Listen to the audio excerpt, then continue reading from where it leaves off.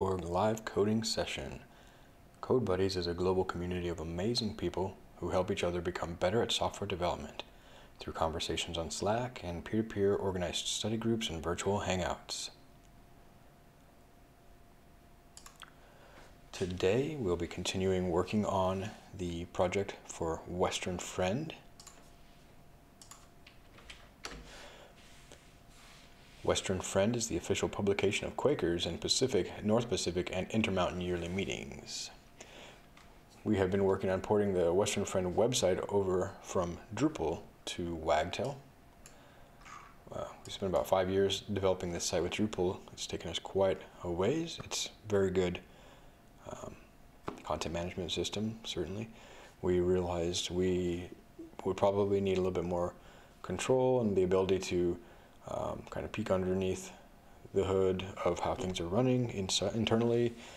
Uh, and it kind of boiled down to a decision between Python or PHP, and particularly um, sort of the ecosystem uh, surrounding projects. Unfortunately, um, or so to speak, this Wagtail project has emerged recently.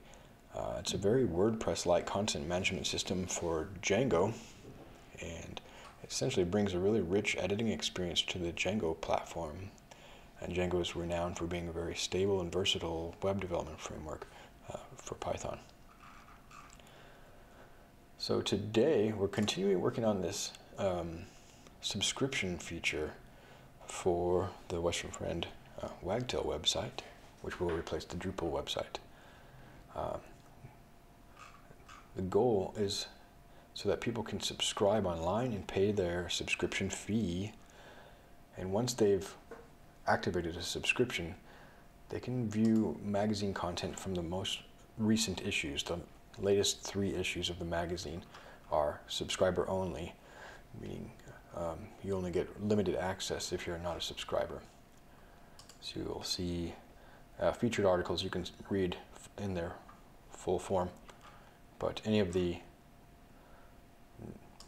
sort of regular articles, you only get a teaser, a little truncated uh, snippet of the article. We're not following this um, approach exactly in the Wagtail version of the website, uh, as you'll see shortly. So let's go ahead and close a couple of tabs.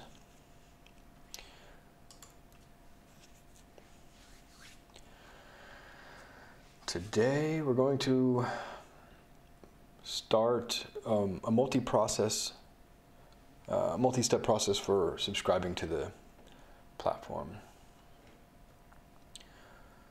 to the Western Friend website. So let's go ahead and enter our environment and run the server.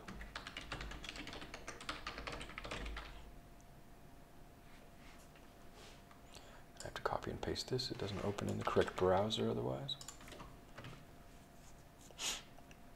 So you can see um, the basic form of the Western Friend website here. I've gotten uh, a little bit of, I've got a little bit of content set up here. Essentially what it is, is for every magazine article you have a title, a teaser text, and a body. Now for subscribed users, they'll see the article body, meaning users with active subscription that's been paid for.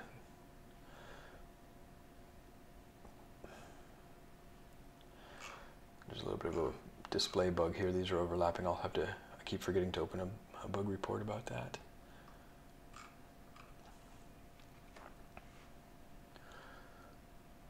Now, so the, uh, a couple steps, looking a couple steps forward, what we're trying to achieve here is um, a better way to link subscriptions to the actual using user account. Uh, in order to do that, we'll have to make a couple of refinements, and uh, it, not only um, for future subscriptions, but previous subscriptions, uh, subscriptions, or even future subscriptions that are uh, created through a paper form or have been created in the past through a paper form or in the Drupal website. We realized that those are common.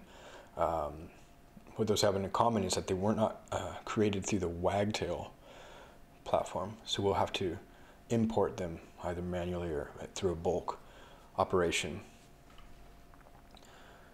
So currently, if I inspect it, let's see here. No, it's not going to show me the details, but if I edit it, uh, we have a subscriber email here. And the way I initially implemented the subscription, uh, which is not going to be the way going forward, was just a query that looks up for any given user who is logged in currently if there's a subscription matching the email address.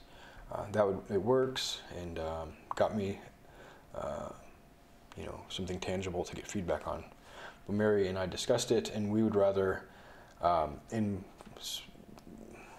that regardless of the user email, if they change their email for whatever reason, uh, we're going to be able to link back um, the user to their subscription. As you can see here, users have an email, but internally we have a user ID.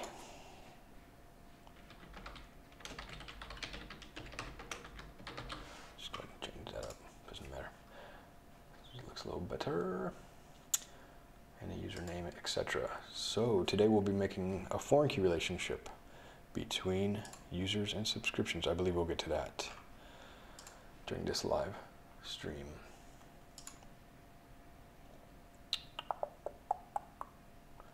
Yes. We also realized we want to create a custom user model. We want to add one field uh, to the user model and maybe others, but um, as I mentioned earlier, those offline subscribers who have been collected um, by Mary over the years, each of them has a unique identifier that Mary has assigned as a just a numeric subscriber number that is not going to correspond with the internal user ID of Django and Wagtail. So Mary would like to add that to the user model. Um, Wagtail and Django make that easy. Um, I'm not going to start out with that because I've already got a little bit of data here and a user created, uh, but we need to do that sooner than later. So let's go ahead and uh, start with this idea that only logged in users can subscribe. Ensure that users have an account before subscribing and that they're logged in. Create a foreign key relationship between a user account and a subscription rather than linking by email. So we're just going to make our uh, data model a little bit more tightly integrated. Okay, so I haven't really planned out how to do this. I should have probably planned it out a little bit in advance. Let me close out some things. So we don't have to deal with payments today. We're not uh, dealing with articles yet today. This is the magazine article. So again, we're not dealing with articles. This is the subscription index page.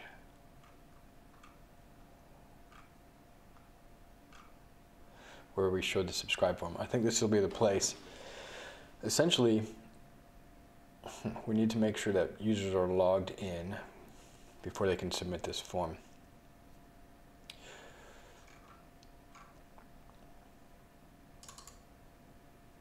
So on the subscription index page, let's take a look at this.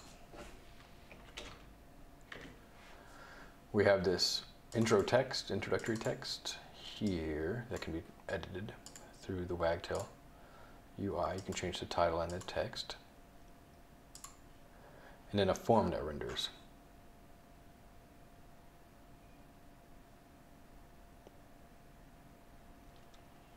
However, this form should not render uh,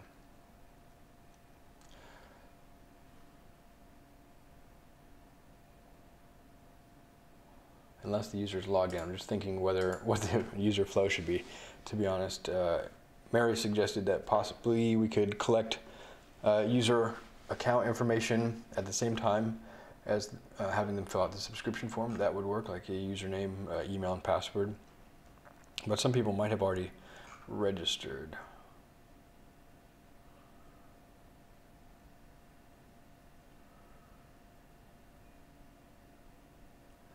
And at the end of our conversation, what we sort of um, agreed to was having the subscription be a multi-step process. If you're not logged in to have you log in or register, then subscribe, then pay. So I believe I can check when rendering this, uh, when serving this this page. I can redirect them to the login form with a message.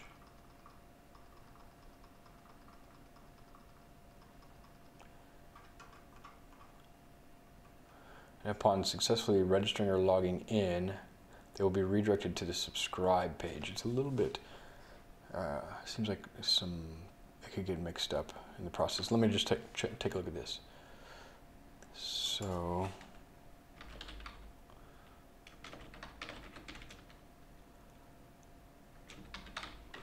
see there's a quick recipe. Redirect all not indicated users after login. Redirect user to a custom page. I redirect I think there's a, a URL argument that you can pass to the login. Ooh, here we go, login required.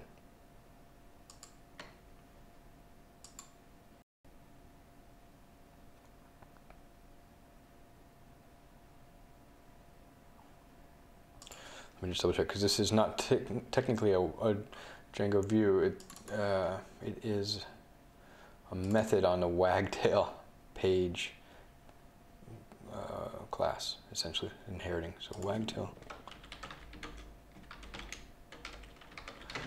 They might have, I don't want to necessarily be a private page.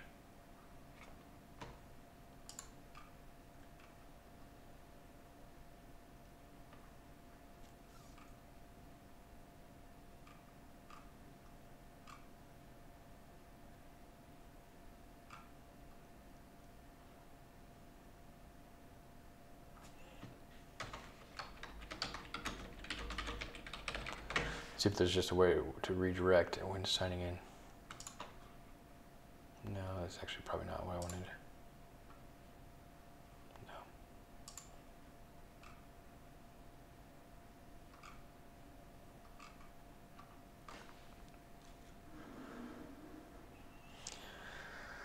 This is a guess. I don't remember if this was from Wagtail or what. Let me just see if I go to um, login. Yeah, there we go. next. So there's a URL argument here, next equals subscribe.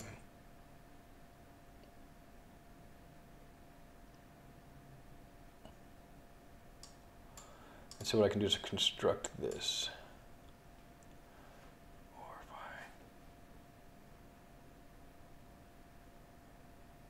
Let me see one more thing if I say register next equals subscribe.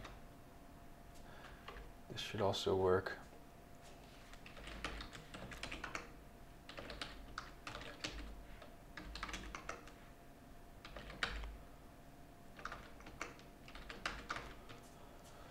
Let's do generic account and register. Oh, right.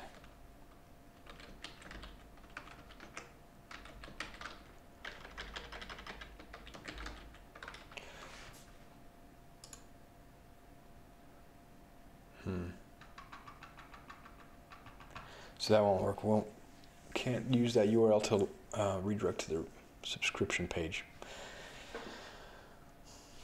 that's the that's just part of the process of live coding. Hitting these limitations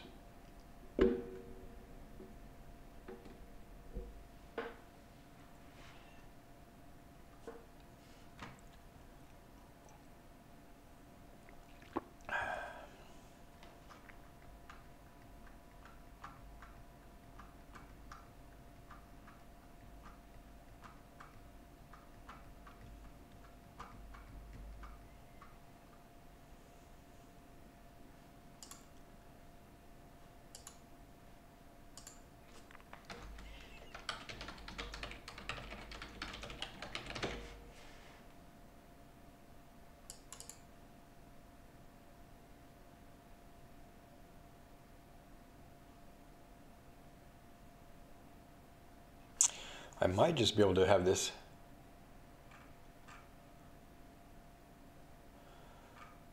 page be more dynamic. So let me double check here. The subscription index page can actually render the registration form.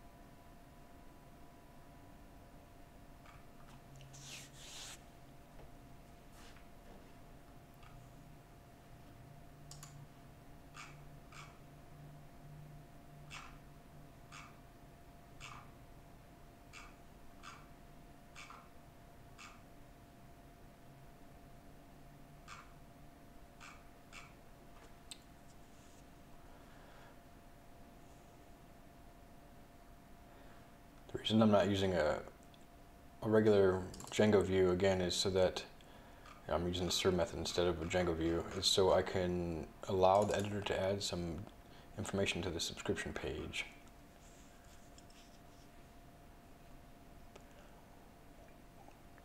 So I don't want to lose that. I have to research this and find a way forward.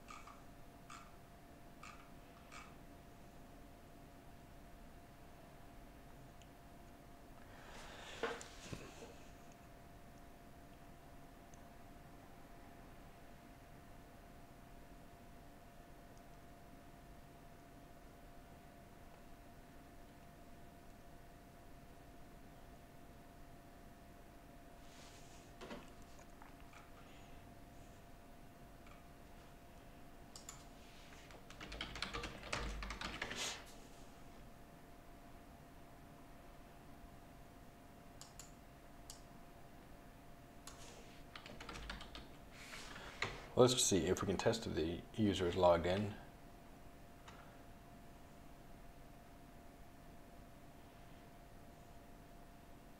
So we have request user.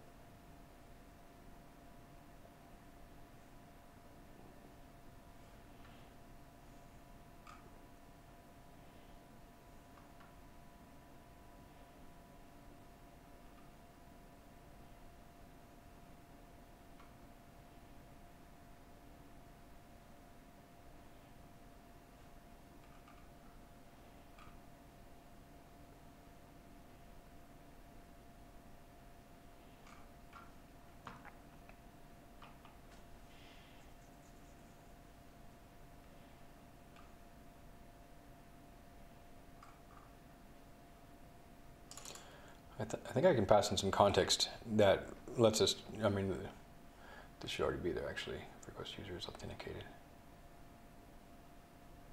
Yeah, right here. So this is already in the template context, good.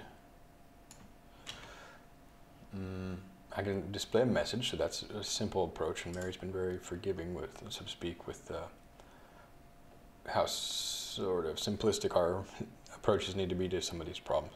So let's start here when we're rendering the subscription, somewhere below the page title, let's put a little text here.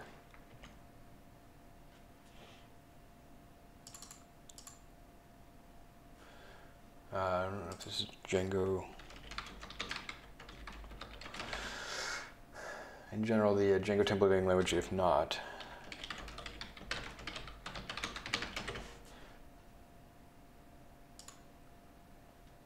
If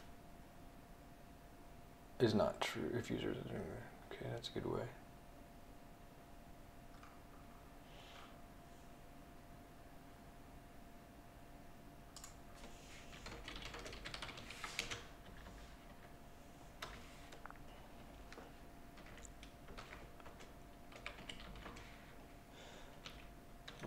This at least get us down the road.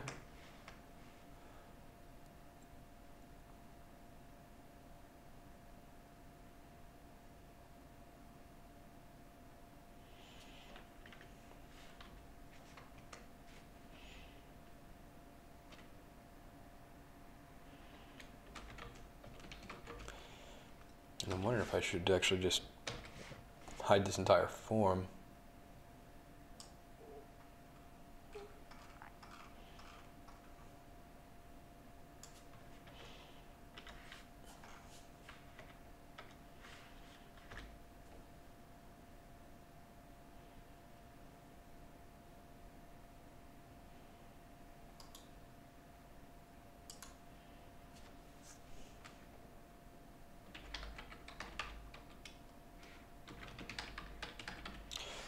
What's up, Quantum? I just saw your chat here. Are we Sunday yet? My head really hurts, but I saw you online, so I thought I'd say hi. Yeah, not quite Sunday yet. I was gonna broadcast both days this weekend. Um, today I'm working on the Western Friend website, and tomorrow we can work on this uh, music app. I think I have a, actually a clever name for it. Uh, that's going to be a more general, um, generic in scope, because uh, we it's called Tonnetz right now, but that's limiting us to only one uh, geometric representation of the music. So uh, I think there's a lot of other ways to kind of project music into, uh, you know, 2.5 dimensions or whatever. Let's see. Okay, so yeah. How do I do this? So I think you just. How do I do this? I'm having some uh, troubles recalling how Django templating works. I don't know if I have to put this in a block or anything like that, or if I can just include this directly.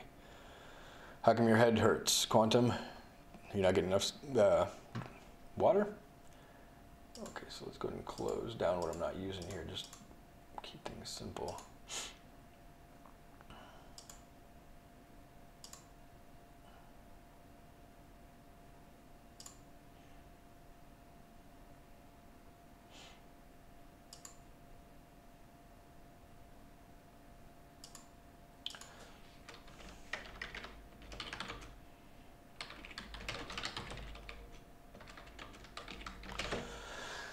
Quantum says, no idea. Probably a little dehydrated. Yeah.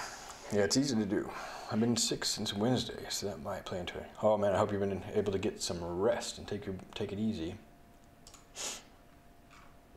Okay, so we here we just include data data, and then it can be any uh, HTML. Yeah, that makes sense.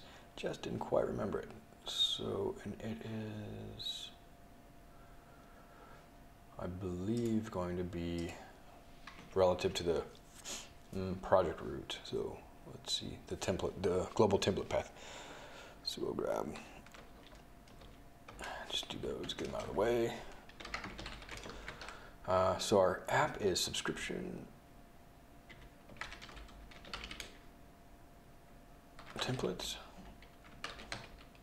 Or do we need that part? Just subscription I think should work because it's already templates is sort of, I don't know, mogrify the right word, but it grabs those all together. Yeah, I'm a little bit sick too, I guess. Not really, but just sniffly. I get the sniffles going on. So what are we looking at? Subscription form.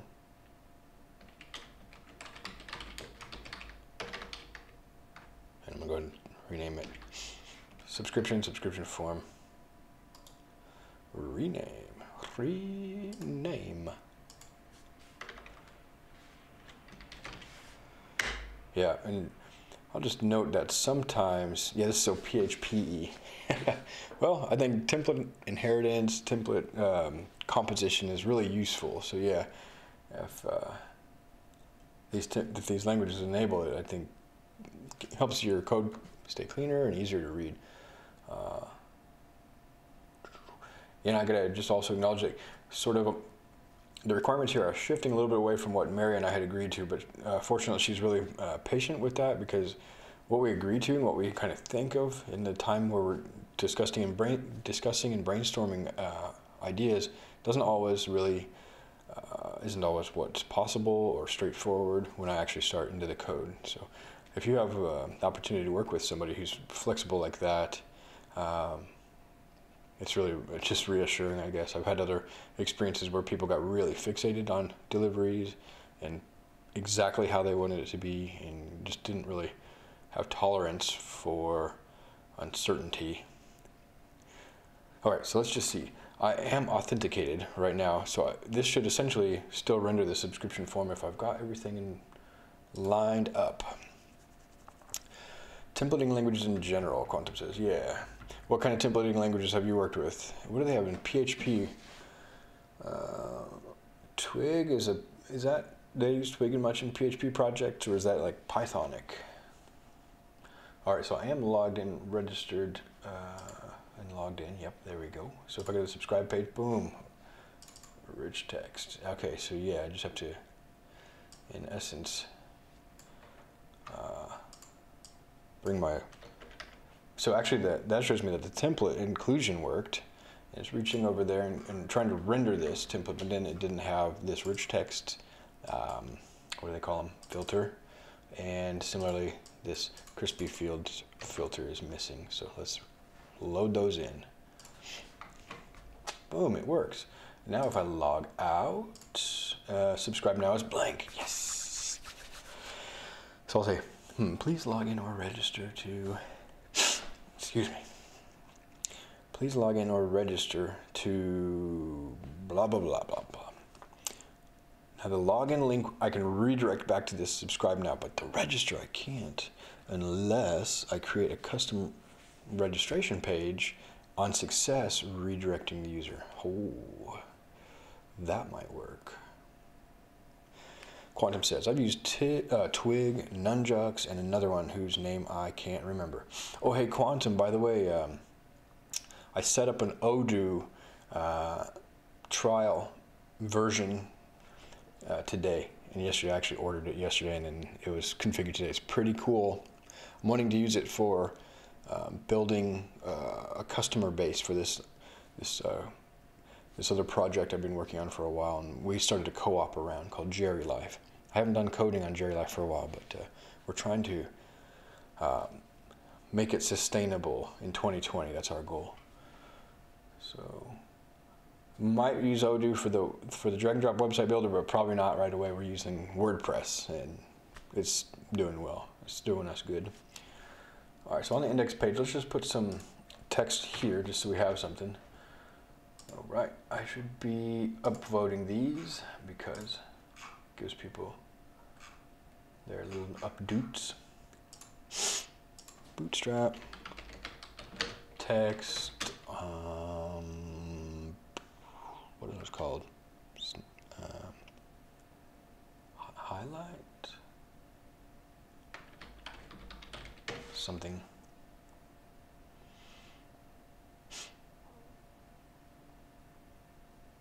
Mm, what are those things called?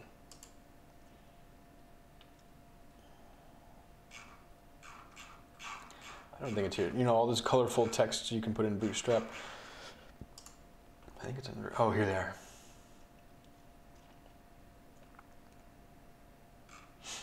Mm, let's do. Actually, I want the buttons to be. Uh, I don't know what I'm trying to do here. Probably a card with buttons, login or register buttons.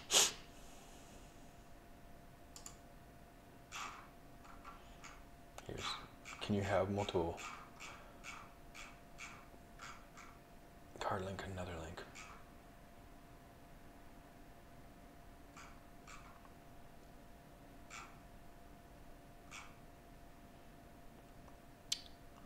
Yeah, if you just put buttons in there, right?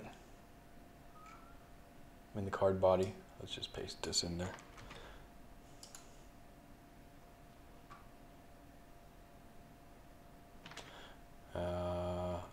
To make this clear, I will create another template.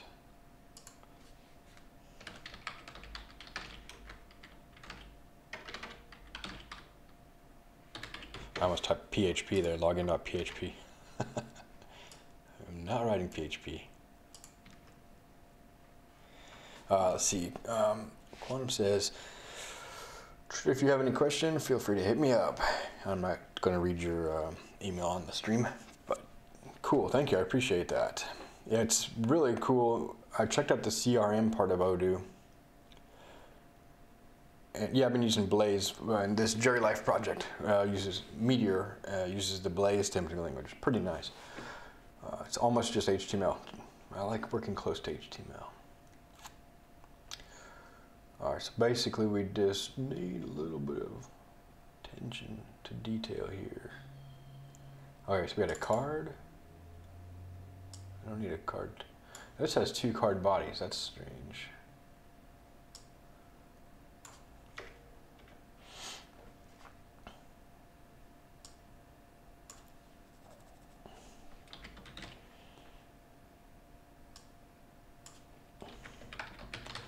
Uh, how do they do these the nice buttons? Just regular buttons. Yeah, I think I would prefer the buttons for the calls to action. Let's see though. Ah. Subscription login. Actually, just do this real quick. Copy and paste as much as I can, but at least make sure I have an understanding of what I'm pasting. All right. Quantum says, think that's why it feels PHP, because PHP was initially just meant to extend HTML a little bit. Then it got out of hand. hey, there's nothing wrong with Bootstrap. What are you, what are you doing that face for? it's just, I want something to get us down the road. I don't want to fixate on, on stuff. That mentality, Quantum, is what causes so much churn and waste that everything old is just antiquated and needs to be thrown out. It's a very JavaScripty mentality. I noticed that uh, it causes a lot of reinvention, right? A lot of spinning the wheels, reinventing the wheel. Um, and I noticed after having been working at my day job with AWS, everything, uh, the AWS Lambda in particular, and JavaScript specifically. Uh, so coming out of this JavaScript mentality of reinvention and innovation at great expense, and the AWS conference, the annual conference, is called AWS reInvent. So, it's like, yeah, we, we know it. We like reinventing the wheel. Not invented here syndrome is the opposite of reinvent everything, isn't it? So you got to kind of have a balance, I suppose, don't we?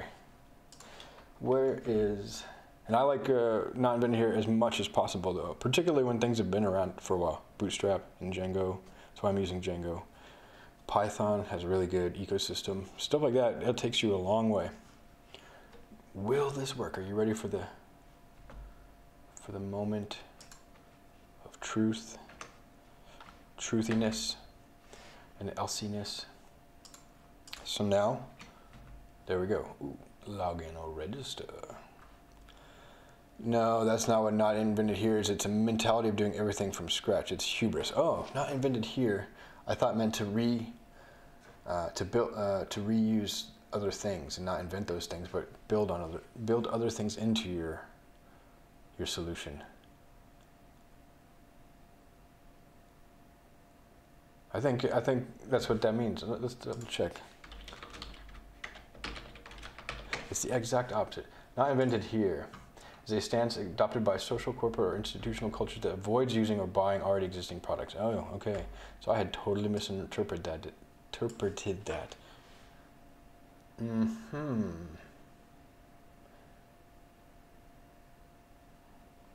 So what would be the phrase for then what I'm interpreting not invented here as for like the propensity to build on things or build them like take them into use, uh, continue don't repeat yourself, yeah. I've only really heard that mostly in the context of like, yeah, I guess one's internal work, don't repeat yourself. But when you're applying that to other people's work, I suppose the dry, the don't repeat yourself would also work. That's funny that not invented here is associ closely associated with an anti-pattern. Hmm. Dog fooding.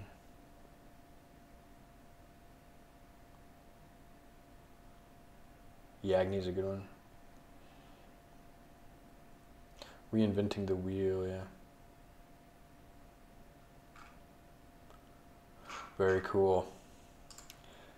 Yep, yeah, I don't know. Probably it's not as popular too. Again, the pervasive mentality is just to reinvent. All right. So this is looking okay. Uh, I need some text clearly I've got some room for improvement. Let me know if I keep bumping the mic if that's annoying. I'll just uh, try to adjust it one more time.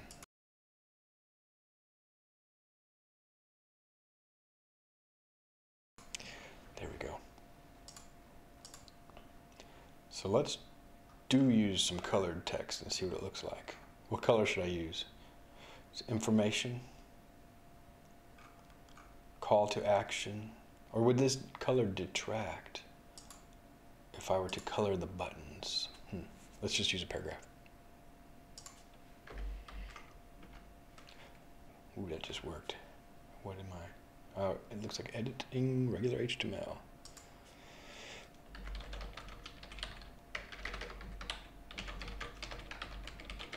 Please log in or register to in order to subscribe?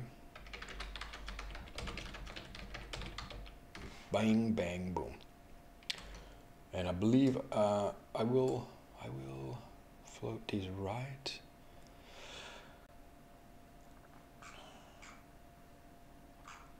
There's a helper for that. Uh,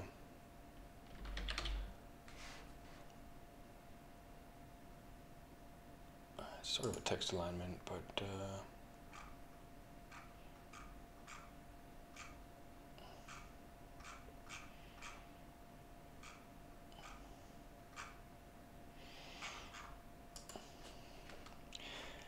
Yeah, I don't want to write any CSS. I want to use just an existing class. Nah, I don't know if float is the right way anyway.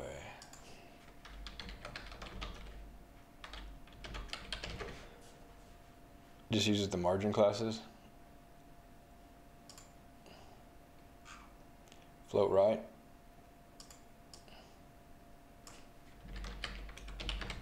I didn't know float was still in there.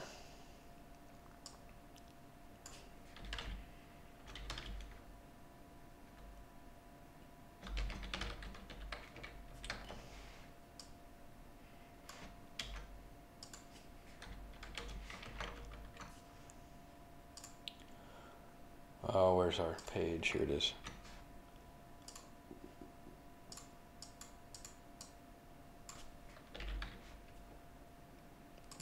In primary.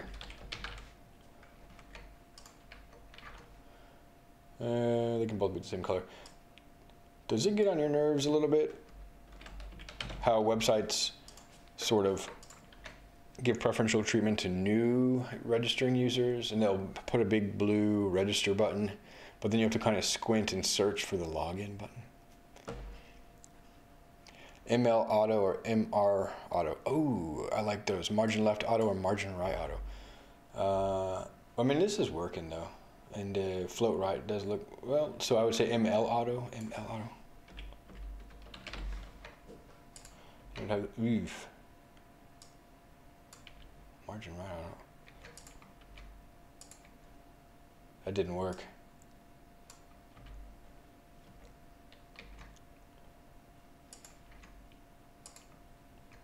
Save it. Maybe I'm not hitting save.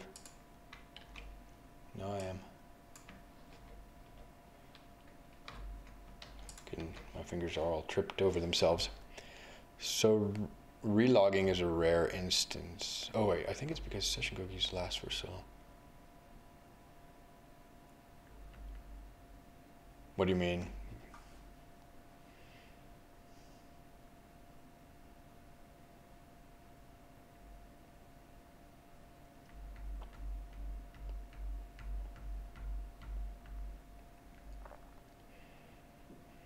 Oh yeah, I think I'm, I could check my base template.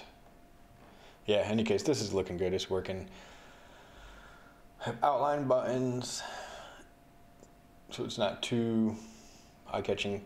So the thing is, then this would go to slash login. And next,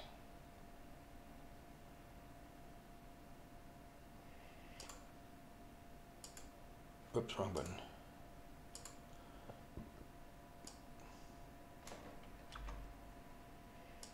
I'm hard coding this throughout here. This is a horrible, horrible practice, I know.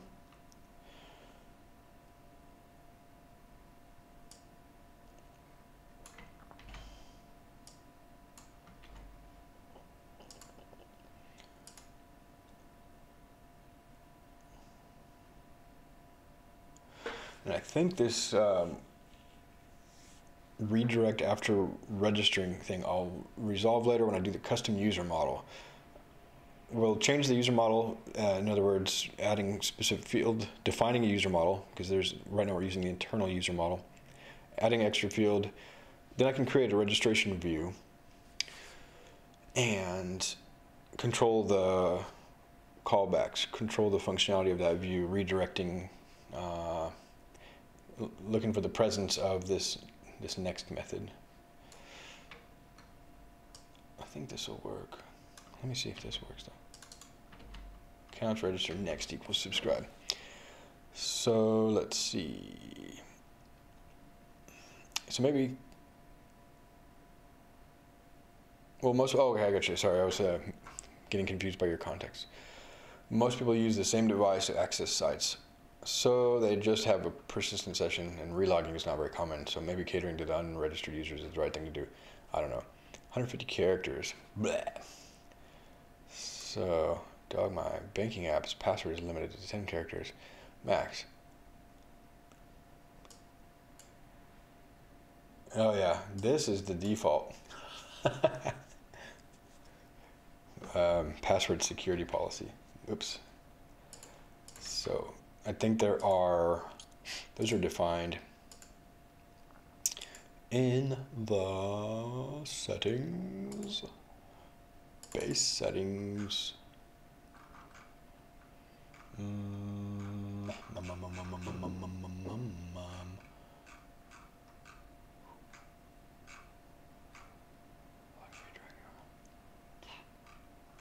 is a list of password policies, but in any case, I don't know where that is. Am I thinking? Is that something from Meteor JS? I don't think so,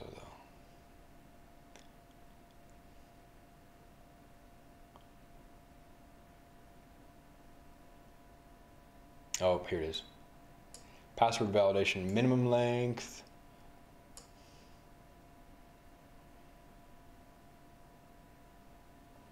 Common password, numeric password. Well, I don't know. I didn't again didn't define any of that. Just to the defaults.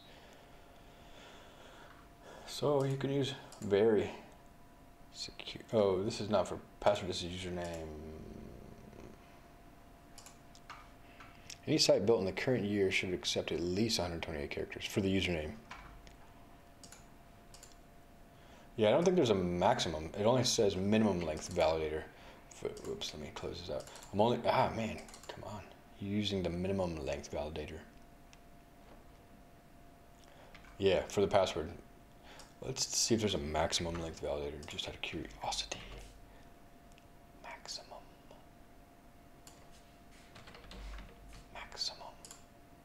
Oop. Copy paste. I thought I had grabbed that comma. Ooh boy, and that hard crashed it. Yeah. Doesn't have a maximum length validator. So yeah, I guess it doesn't care. I wonder though in the database how that field is defined. Curious. Curiouser and curiouser. Okay, back on track. Mm, mm, mm, it's a hash. So yeah, it doesn't matter how long it is, so it's consistent length. That makes sense.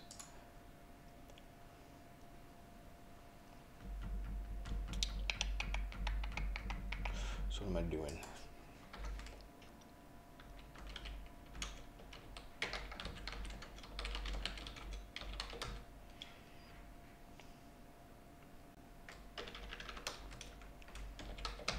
See why this doesn't work.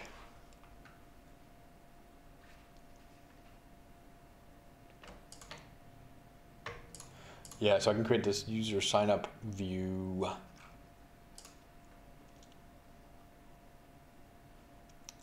well, that's not what I was trying to do.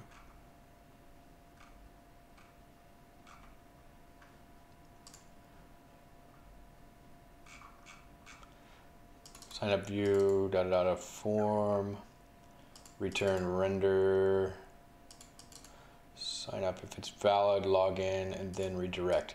Yeah, so I think that'll be about it for this. Um, for the register button on uh, the subscribe form, it'll just be a custom view. Boing. Should be, should be. Hmm. Yeah. Here, if I go subscribe, these buttons will do it.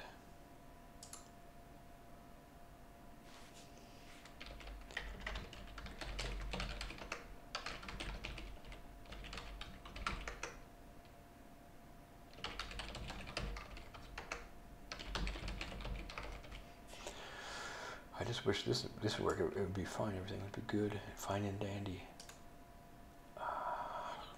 How is the oh to someone to the username? Yeah. How about not similar? One two three four. Not similar. That's a hard word to type. Registration successful. That's the problem. Is it's taking me to this page.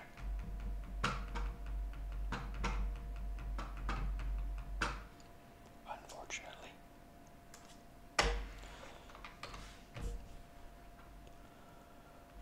Okay.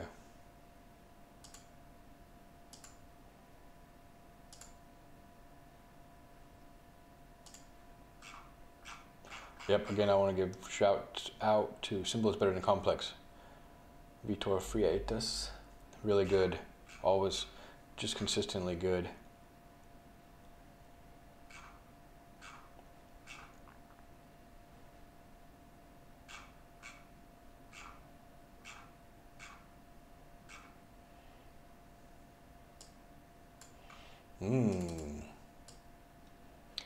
He's even using class-based view.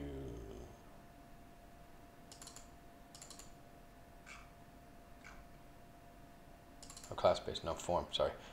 Yeah, form, okay, well that's... Yeah, so function-based view. Return redirect. Okay, well I've got the recipe. So actually, I guess we could do that. Let me, though, let me have some tea.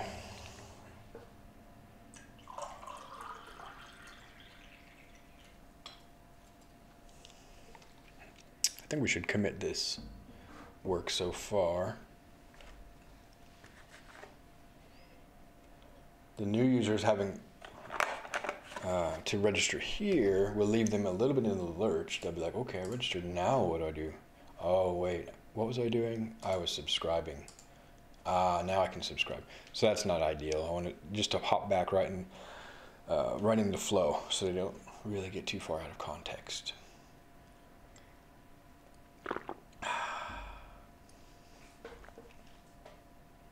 Yes, I think this will be okay.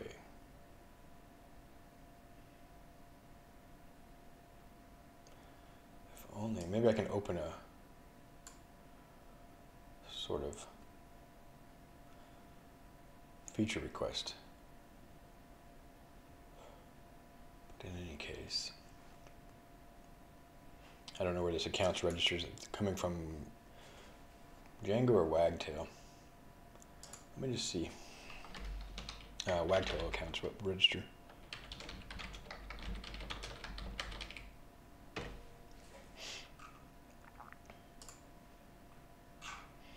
Dooba dooba dooba dooba dooba doo. No, this is when I looked at earlier.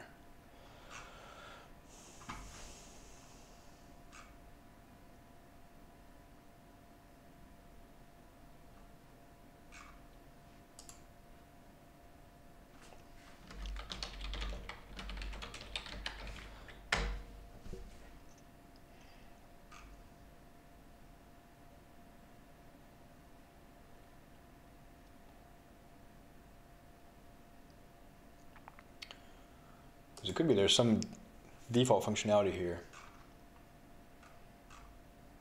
And again, I'll have to change these attributes.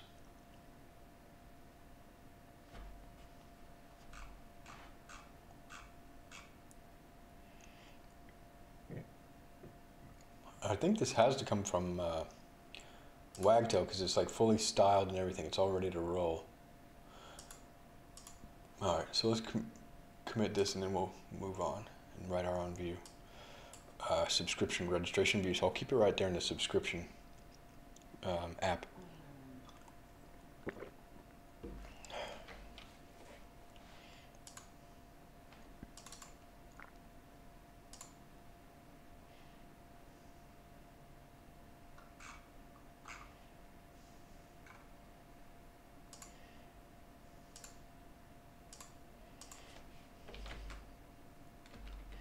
It's, it's not quite a refactor. I, wa- basically, I moved subscription form to own template.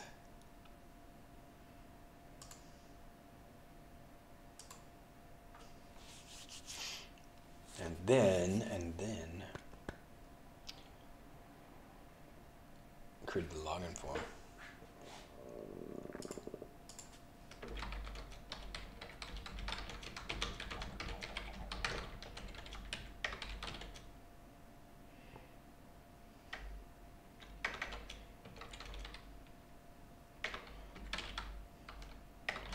This is good enough.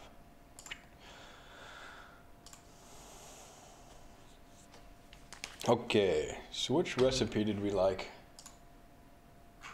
They're basically the same. Coderasha.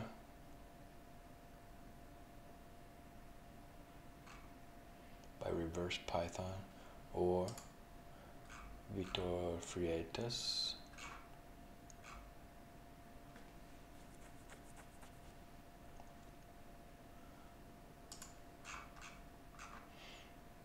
Create a form, user creation form.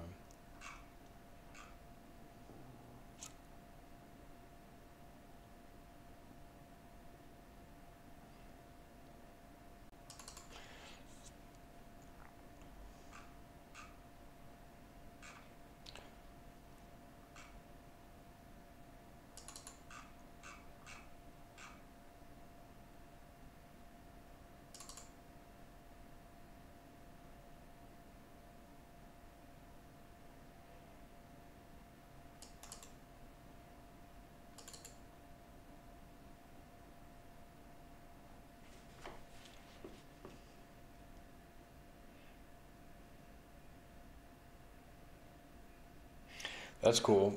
If we if we want to do user profiles, hmm. But I don't really yet.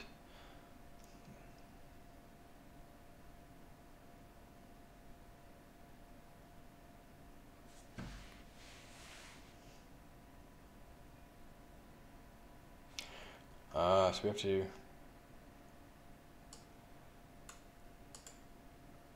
This is interesting. You have to authenticate and log the user, and that's makes sense.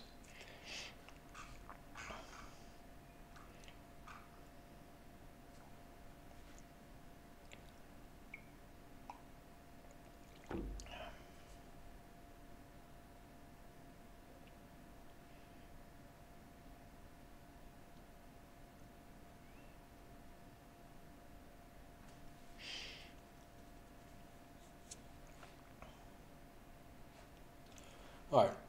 I think we can handle this subscription. Forms.py.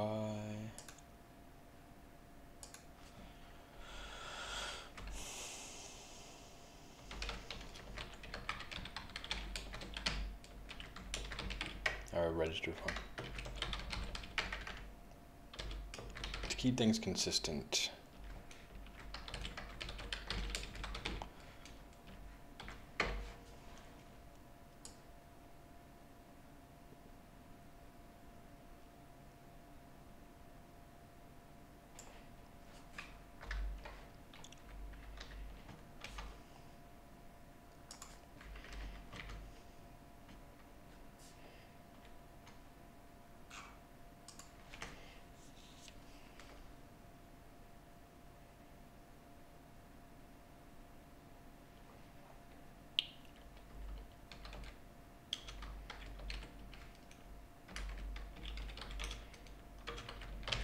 Think I need to override these uh, fields. To my knowledge, I will just try.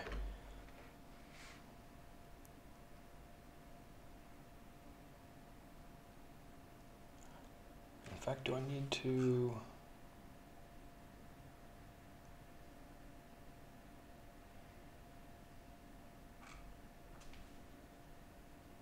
define this form if I can just pass in the regular user creation form? Hmm. And what happens if I do a custom user model?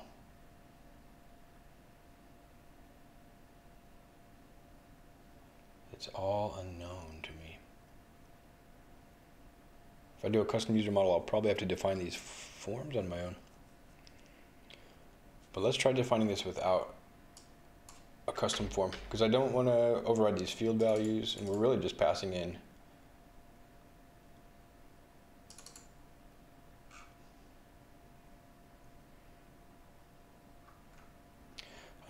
unmodified instance of this. Hmm. Let's leave this alone here. If I go to views.py, and we'll go um, subscription. So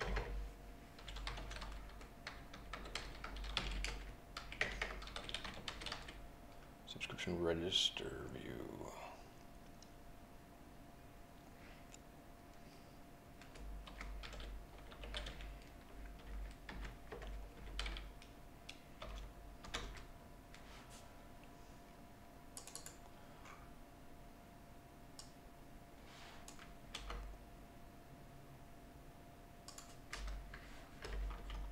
dry.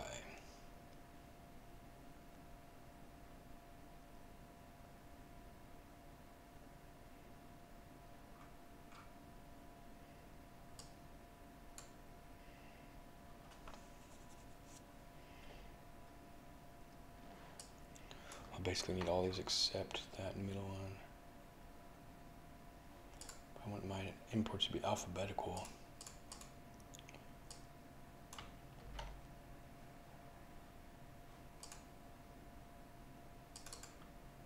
And a little bit more organized. All right. Good stuff. How you doing over there, Quantum? Are you still hanging around, or you leave?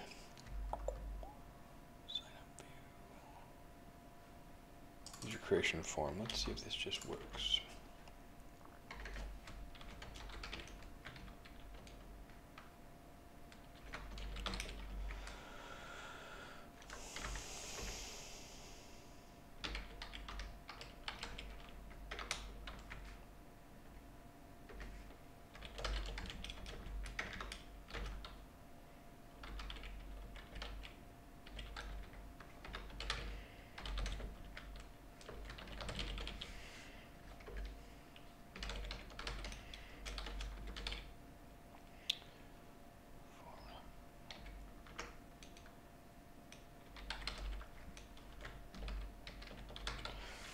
there.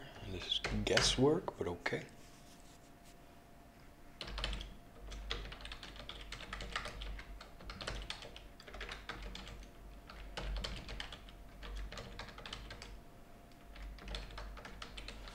Hmm, I wish uh, Python had the um, the JavaScript approach of destructuring arguments. Maybe it does when the argument and the variable are the same.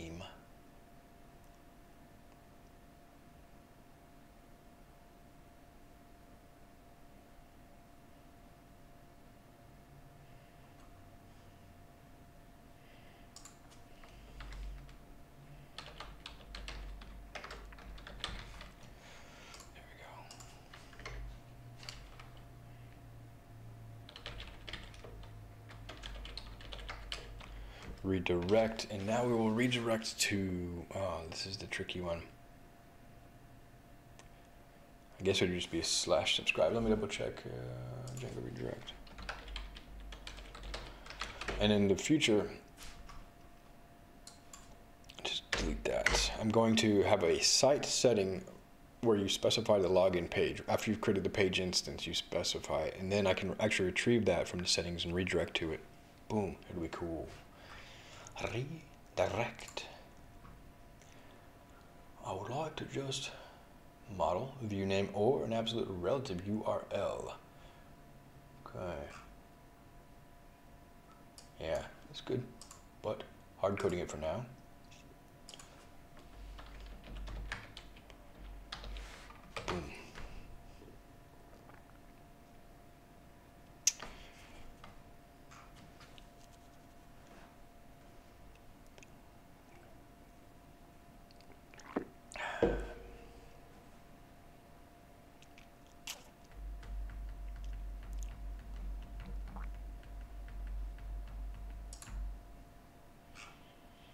Else form render. So I need a template with form and form. Okay.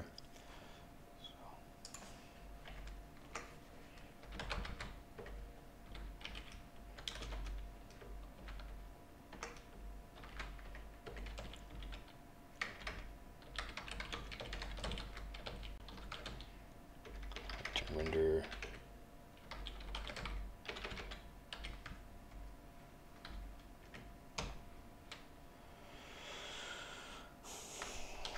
This will be called subscription.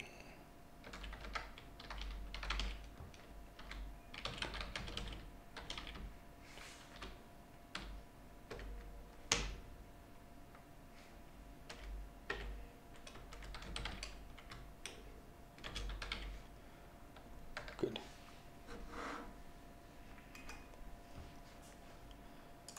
So now I need this subscription register.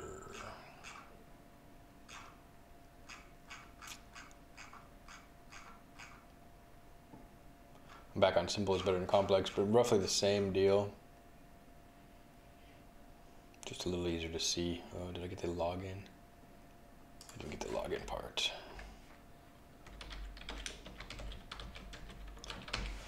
There we go. Where are the templates?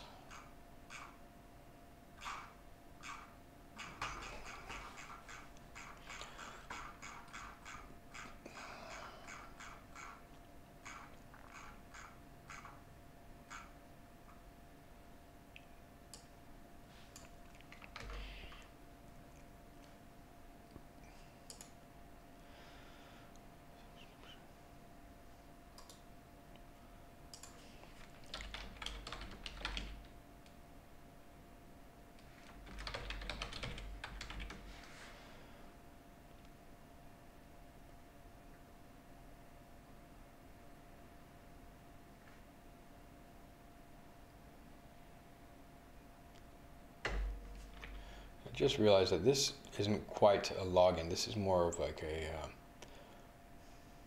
hmm, well, some kind of a notification or um, login required. Sort of my decorator login required. Back here, subscription login required.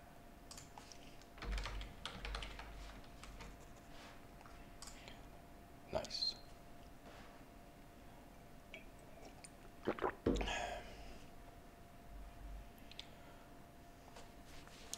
Okay, so this will render in our main template.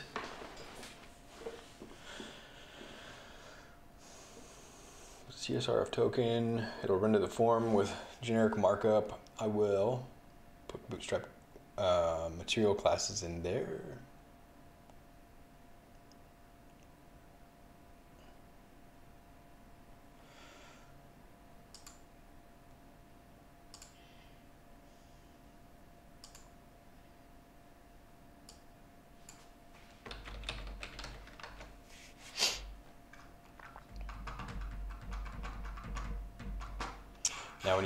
Views because we were define uh, our URLs because we defined a view and we need to map it. Hmm.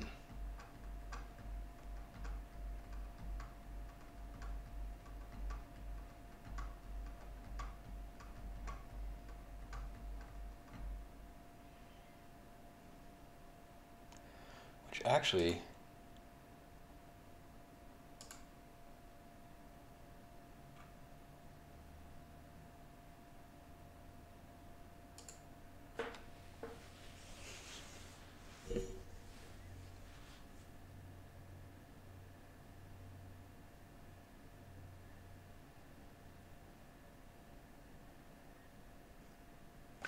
I can do this all in the subscribe page.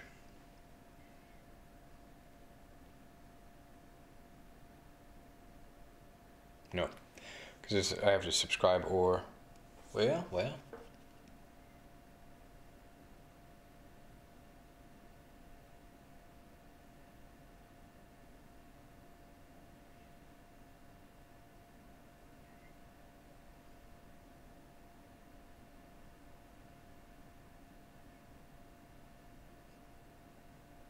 It's a little bit kludgy, but I could actually put a URL parameter in the subscribe page. Hmm. Like a get uh, parameter. Hmm. If we get that register, then it does all this.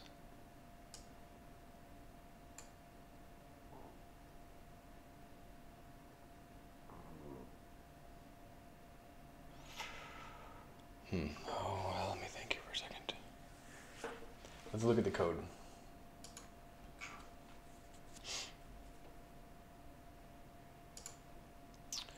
For the model. So yeah, when we're looking at the subscription index page, and I'm serving it up, here I check that if this is a post, if they're submitting the form, prior to this, I could check.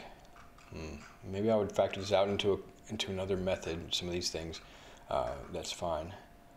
Uh, so this method doesn't grow too long. But what we're looking at here is super serve request.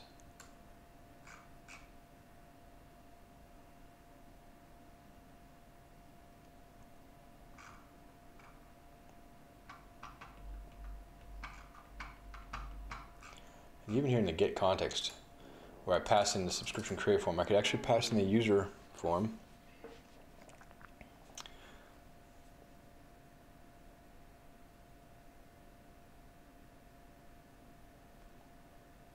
Yeah, it's a little bit, uh, might be a little bit hard to follow, but let me see if I can get this in here.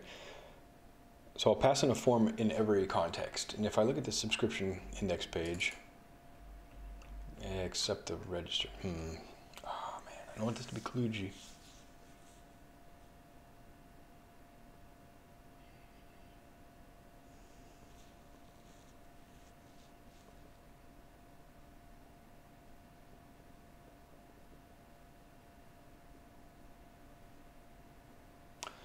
Let's stick with this way, with doing it uh, separately. I'll, I'll see if I can merge them back in but I'll just try to explain real quick what I'm thinking. Uh, in, in, this model, I can pass in any form. I can provide the uh, registration form. If the I can get the context, the the request. So let's just double check it here. There's a dictionary.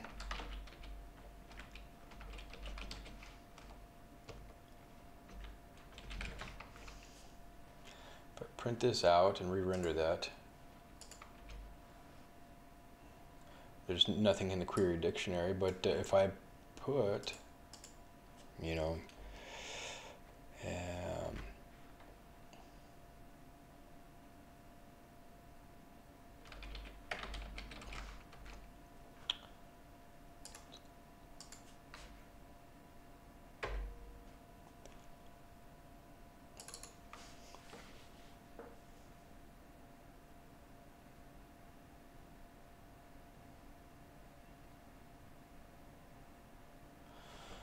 This is truthy.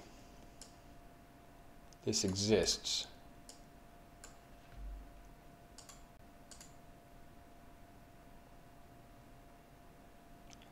So I could make my link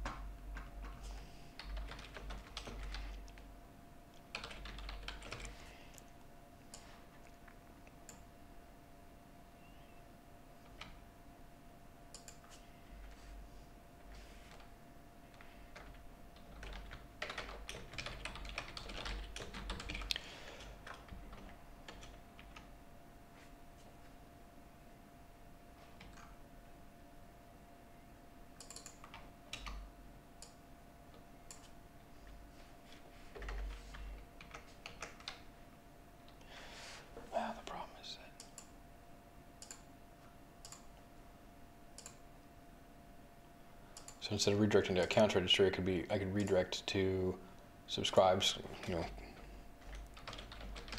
like that.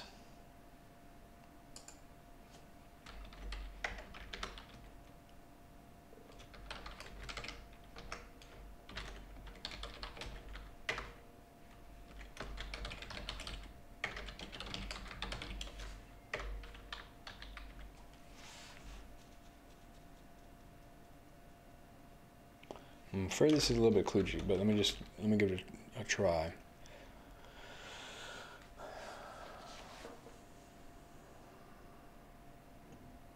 The goal here is sort of to keep people in the same context and the same flow, um,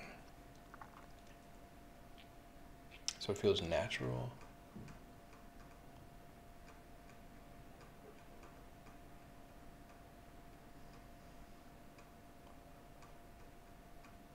Could do the same pattern with the login form. Yeah, this might work.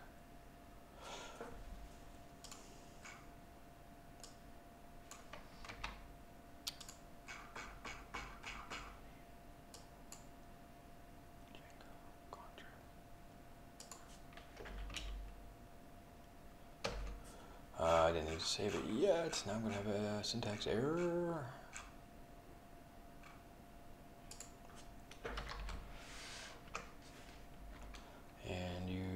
Just passing the empty instance. So then I could say in the template, hmm.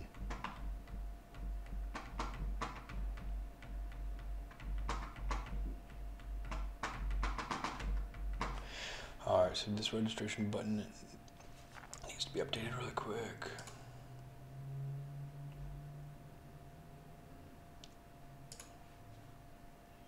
To subscription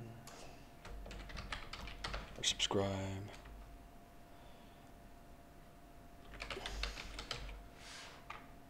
This should be about the same.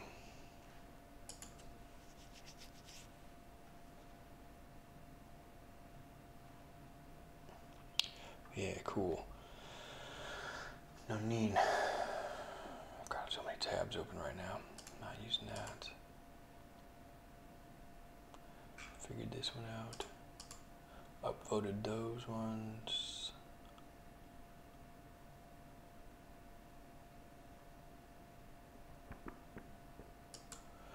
I can take this. Actually, just render this. It's already there. Good.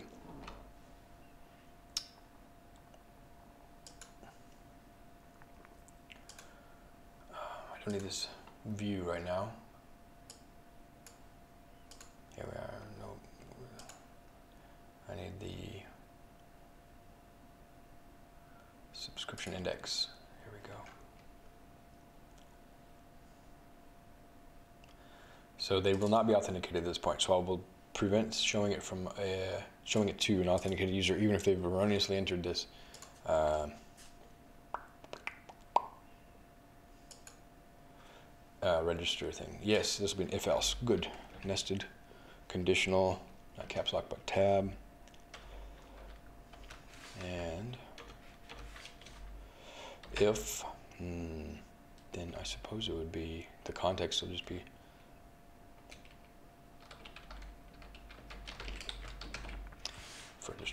registration form.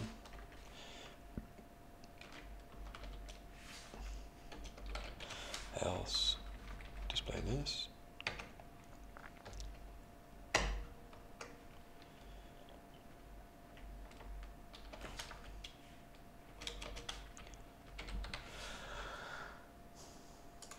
And we want to just copy this real quick and paste subscription register.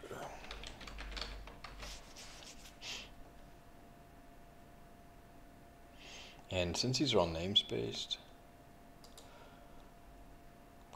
I'm going to break my code for a minute, but they're all in the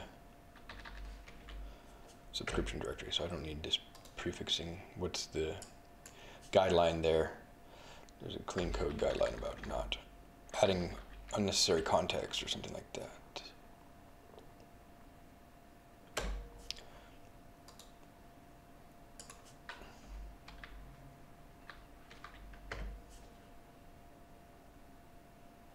Except this one, I think. I need to add it at the page level. So fix these here and then go back to the page model and uh, there's a parameter in the meta. I think it's just template, but let me double check.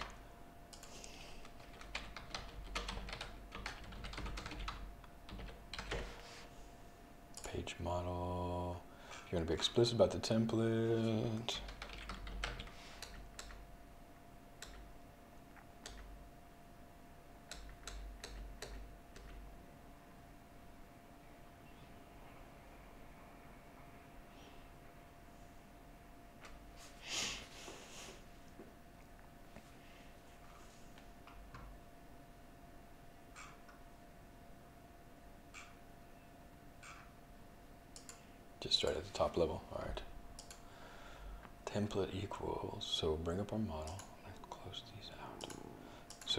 Need this view. It's a lot of extra code. This template is nice. Ooh, that's a nice feature. Model. Subscription index page. It's not in the meta. Just right there on the top level. Template equals.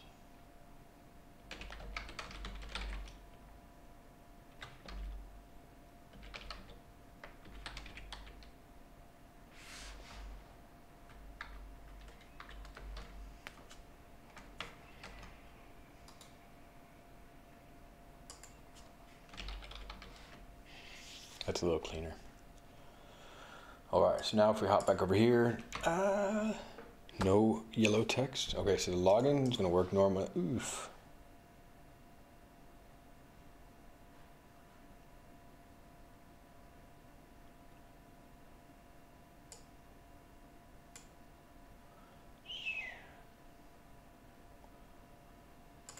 That's weird. No, I didn't mess with the login.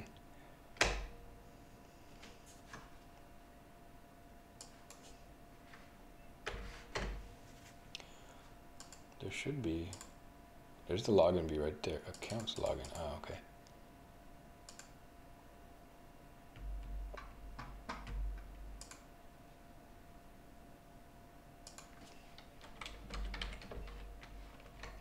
Good to go.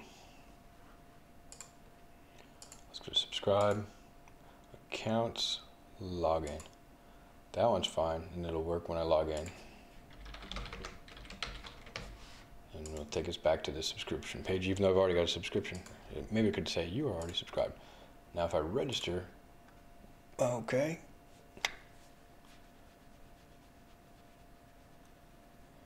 Uh, I need something truthy here. Apparently the form is not truthy.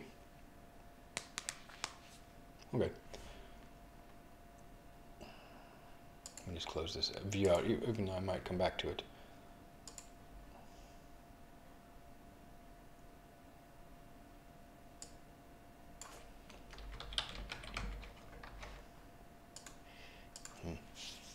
Now, register, figure it out in a second how to style it and, and everything. So if they're not authenticated, uh, yes.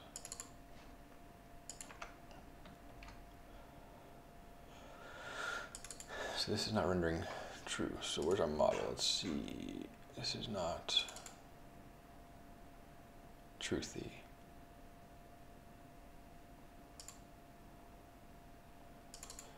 Let's see if we're getting into here.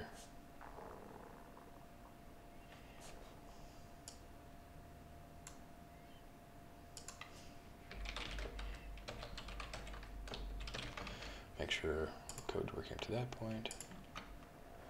We do have register. And I'll just print this.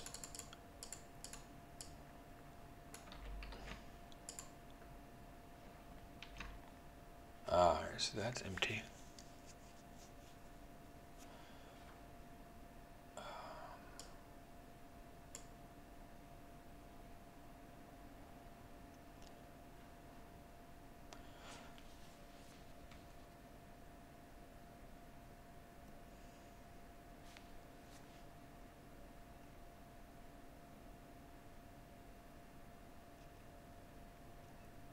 An empty list. I wonder if Django's being too magical here.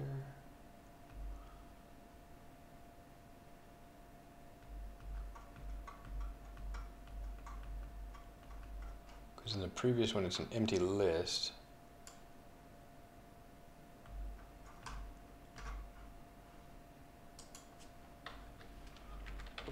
Oh, dang it.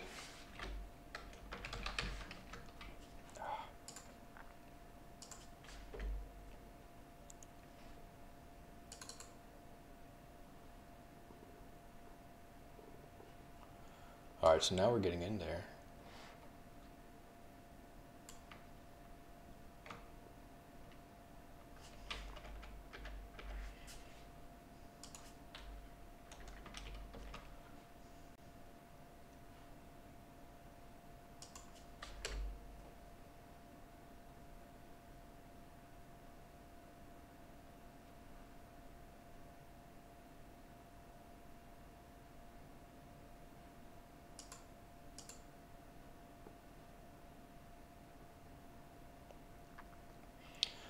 Now it's rendering the form.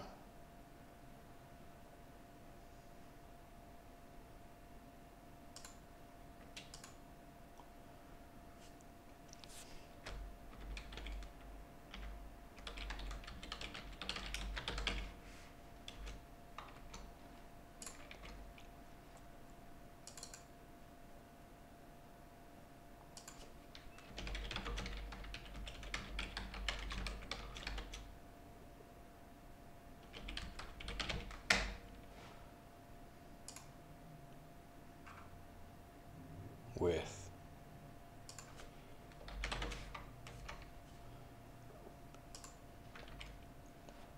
there we go oh boy. I don't want to though include marks and basic HTML or even just block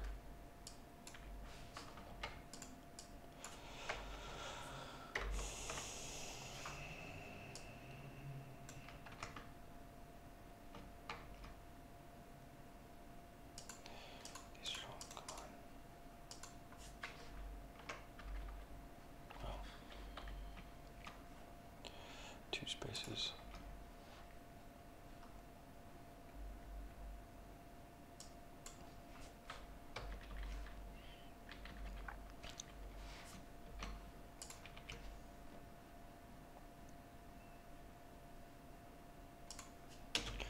Pass it to Crispy.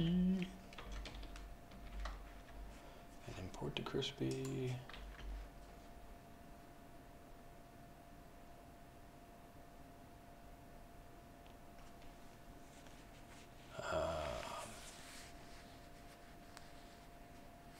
So if it's getting a form and the user is not authenticated, then hmm, how do I tell it?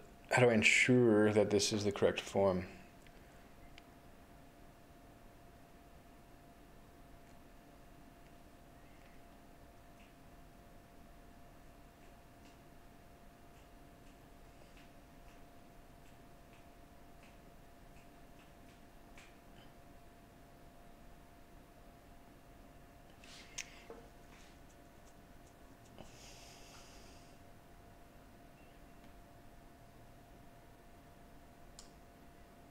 So let me just take a step back real quick. So this is not going to work without something being passed there. Yeah, nothing. Register is not true. An empty list is not true.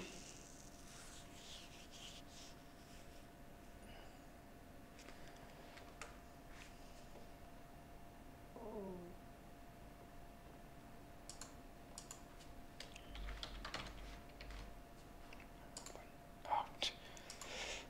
Hitting save. save over here and this would be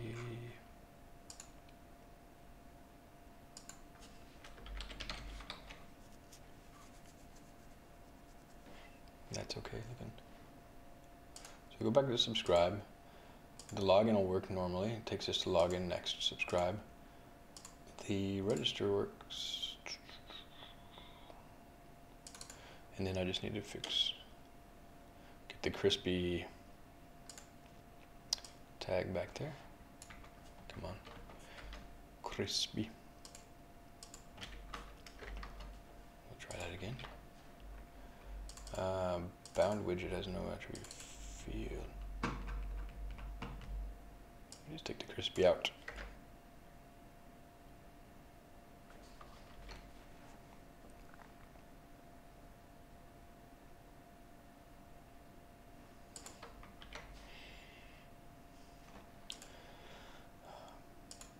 how do we do these? Form as crispy field.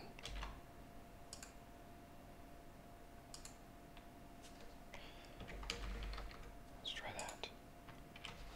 There, it's a little cleaner. Good. Oh, dang. And uh, actually, then Crispy's handling those for us. Very nice.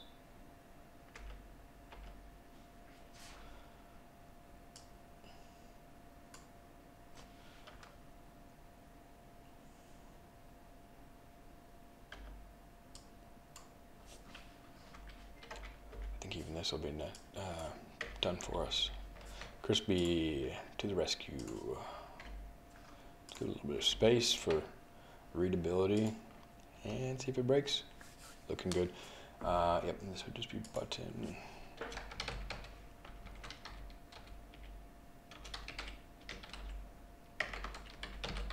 Put an outline. Mm, let's just say success, even though it's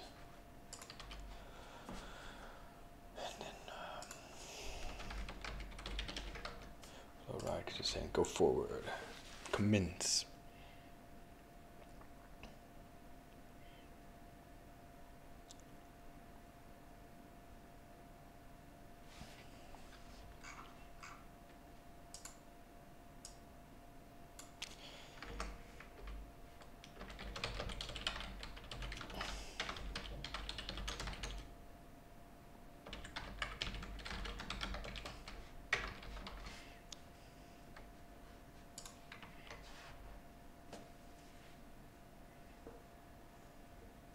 Mary will want to edit this text. I will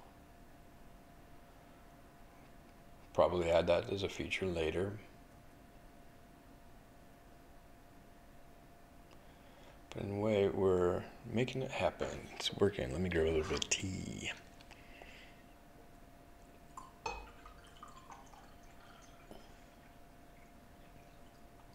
Today we got normal, the usual chai tea.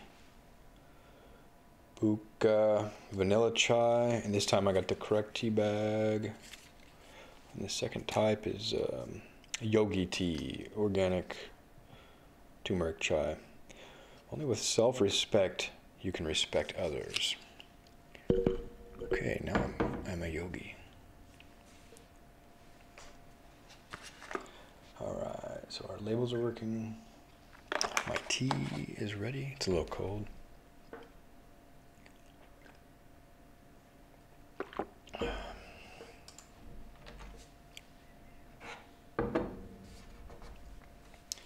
I keep hitting save there, and I want to save here. So now I don't need this view, but I could take parts of it, which I think I've already done. Now the deal here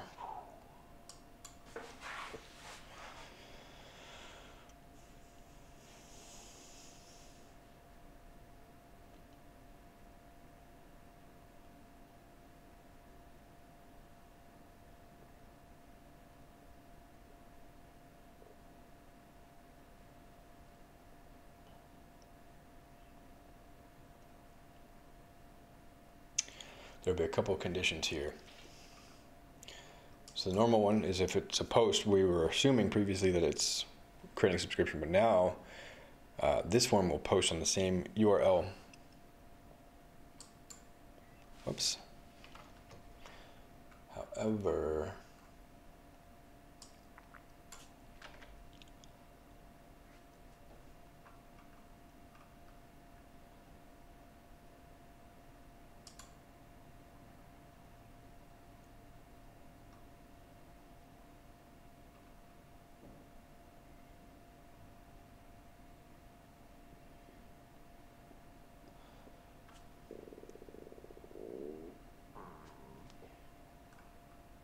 Mm, yeah. All right, so I'm in a different method here. I don't have any context from the previous method.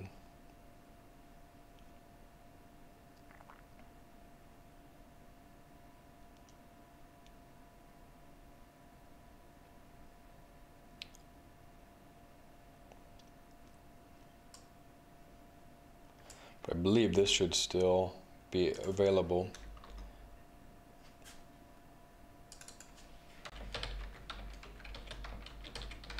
Users registering.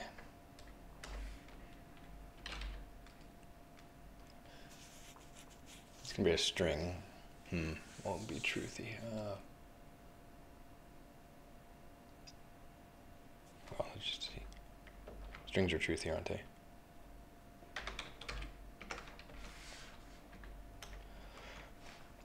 Okay, so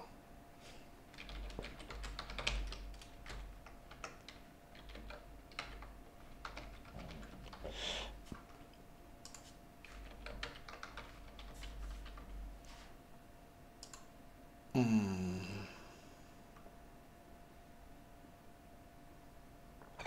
Excuse me. Yep, I just wanted to print it though. Well, let me get to the bottom of this context and maybe we did receive it. Because now it's trying to process form data from the wrong form and so everything's breaking. So that's okay. It's true. There it is. All right, no problem. So then, if user is registering, then handle the uh, registration form. If else, handle subscription form. A couple of functions should do it. Uh, first, let me just compose it on one big blob. Then I'll factor it out, maybe. Let me just actually factor it out first. A little bit preemptive, but preemptive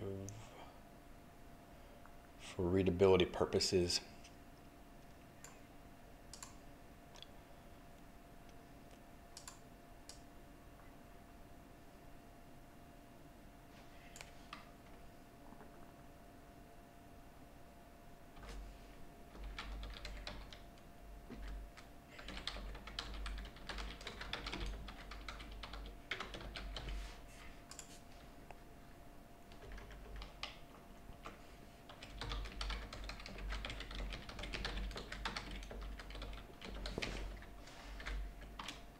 should just work normally now, but got some indentation, dealies. Uh, sorry, subscription form.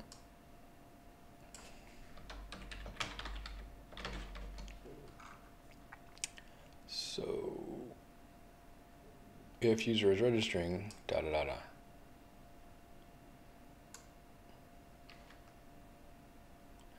And I'll just hash this.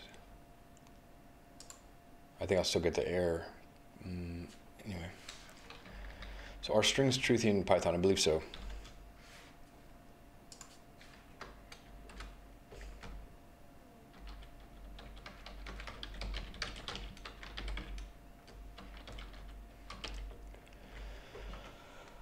Else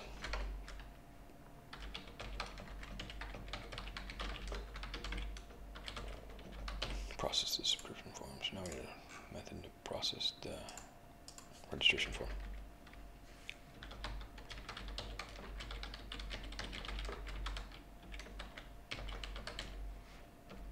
And copy pasty. How do they have the pasty information here?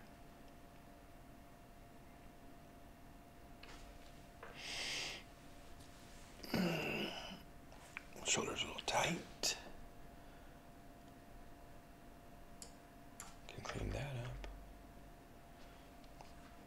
So here's the view. Essentially this.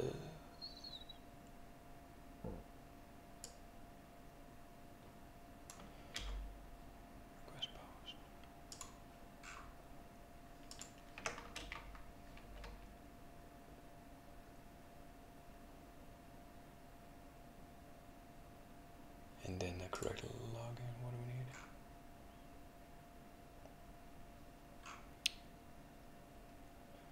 Django login.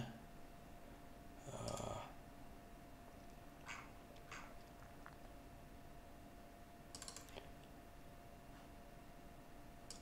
need both of these.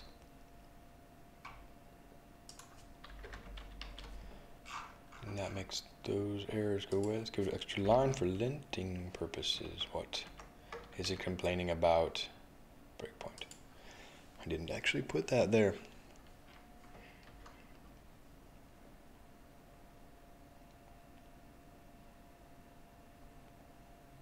Uh, it doesn't matter because I'm not using this view anyway.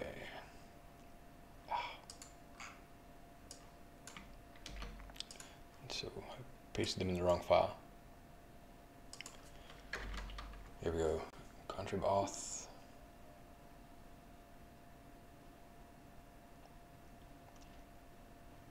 Looks good.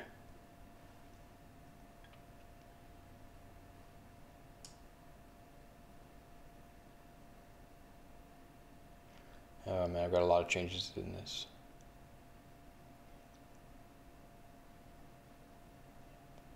And this one commit.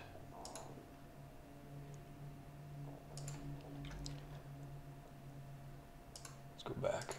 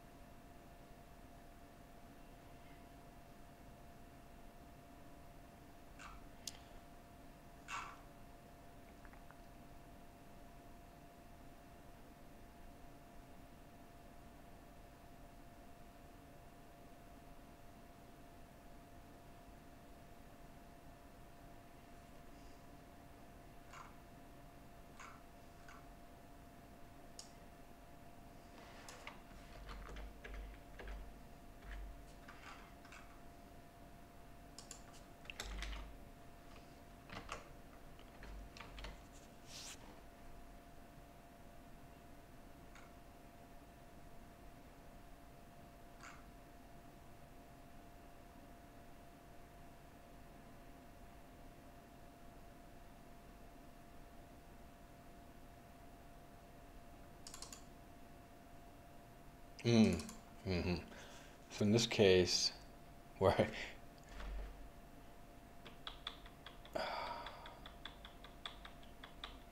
we're inside of a post.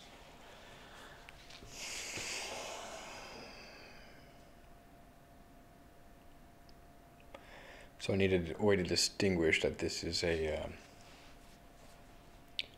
that they're submitting the registration form. I could probably put a hidden field in there. Let me just take a look at the request. But really quick, I'll be right back.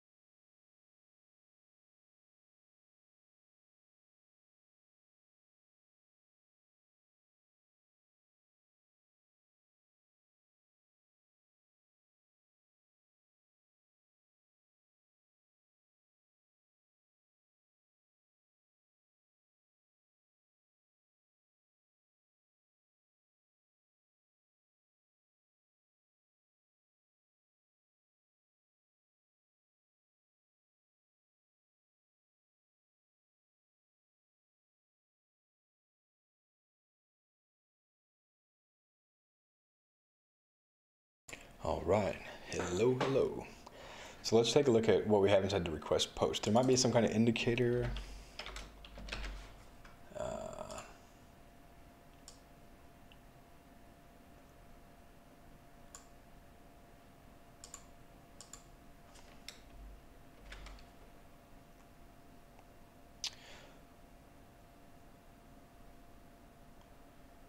I don't have our debugger active. Not even sure if it's configured. Let me see.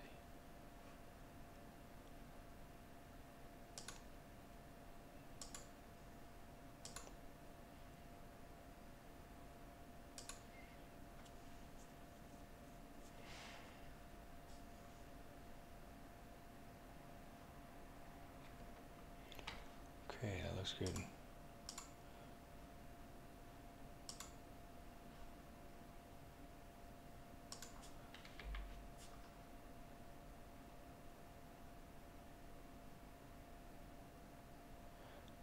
I should be able to inspect the request at this point if I put a breakpoint and start the debugger. The problem is I just need to stop this service from running and make sure the debugger uses the correct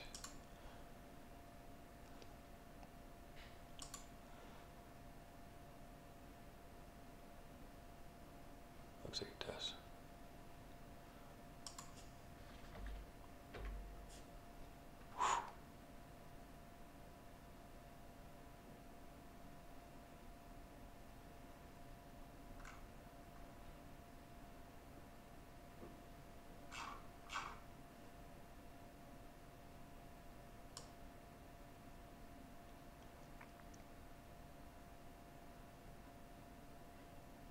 I don't know what this is. Okay, so the debugger's just not going to work. I'll just go back to print debugging. I don't know what the heck that was.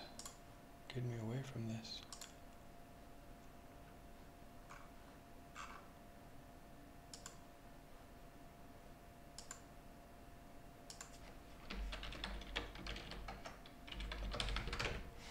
Like, sort of worked, but didn't quite work.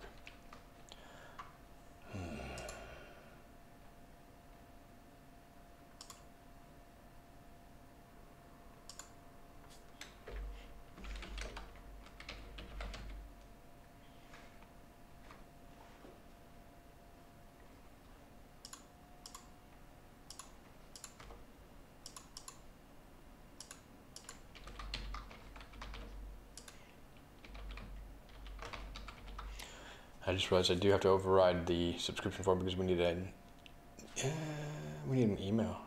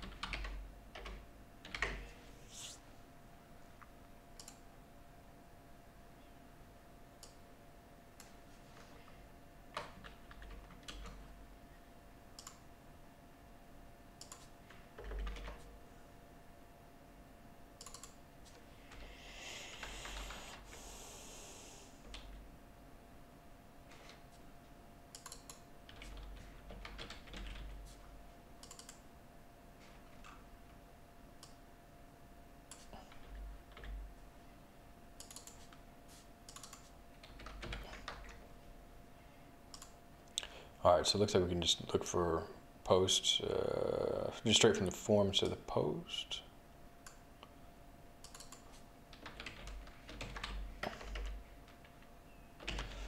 Uh, I suppose it's there, post dictionary. So users registering. This should now behave in an expected way. The value will be added to the name, named property. Thank you, W3 Schools. I don't know, W3 Schools has got a lot of flack, but eh, I've had a pretty decent experience. Experience. All right. Let's try it out again. I don't need to print anything, do I? So it's gonna get this post request. It's gonna check the post for requesting registering property from the form because the post data are the form fields basically. Dang. Alright, hey, that's cool. So we did get the register is true.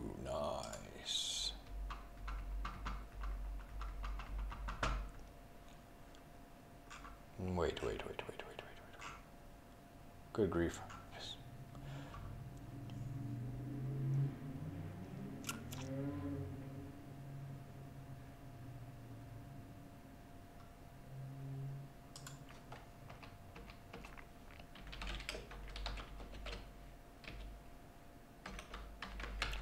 Let's see if we can just check those out.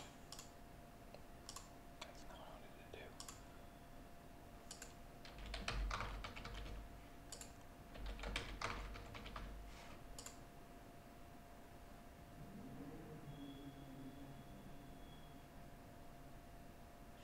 All right, we didn't get that in the post.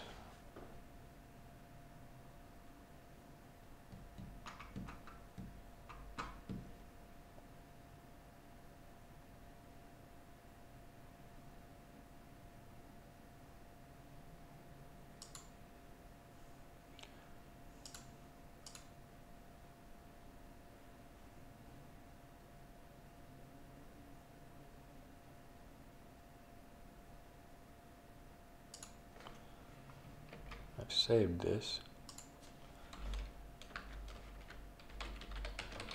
I think it's the name though that should have the value in the post. Type name. Yeah. The name and ID match here, so okay.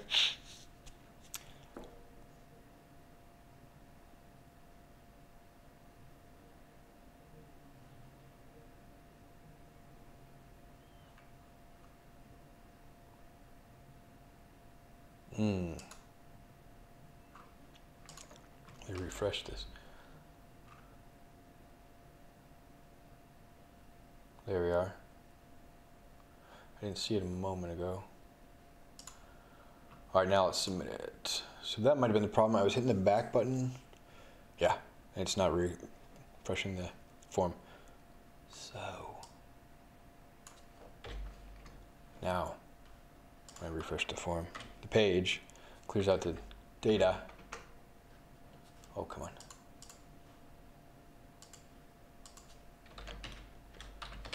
Three.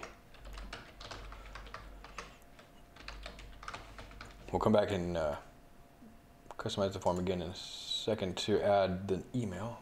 List object has no attribute get. Okay.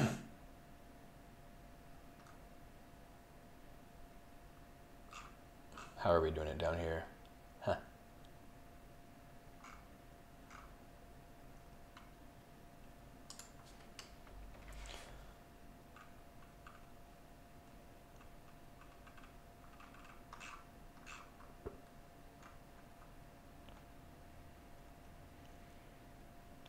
This is a dictionary. It's a query dict.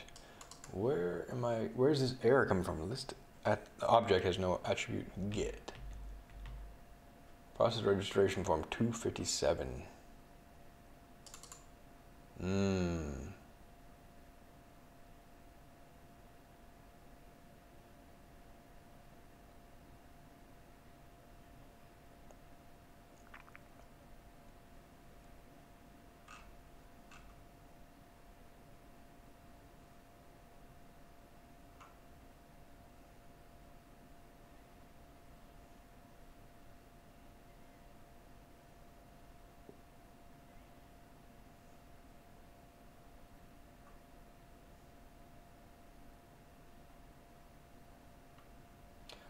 So this could have updated since Django 2.0 or something. Ah.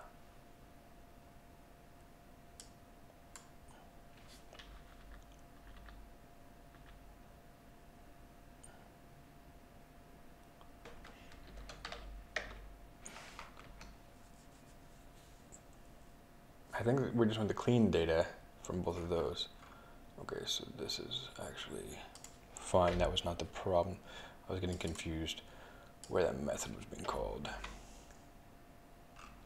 So this cleaned data should be a dictionary. Uh, change data hmm, might be a list. Let's find out.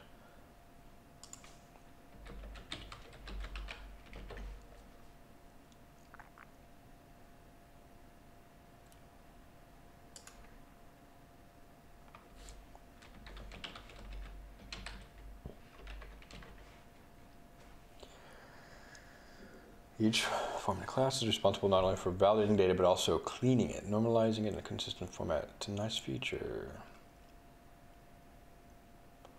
Uh, you know what? The password might not be cleaned.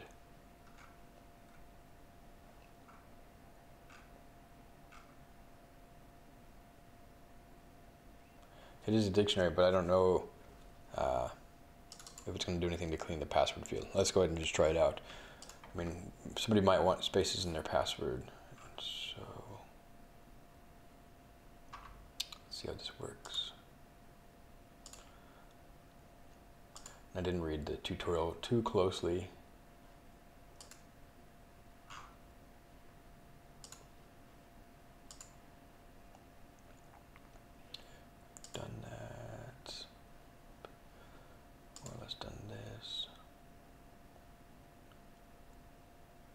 clean data. Yeah, that's the raw password. Yeah, that should be fine. The password should be there. Nice, the raw password. So I think I had pasted that from here. Clean data, clean data. No.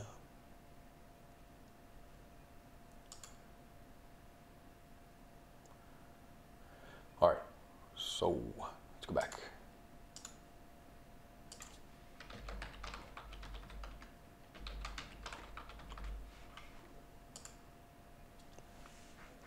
Didn't return an HTTP response object. Value Okay. Getting a little bit better. Got the right data. That's there.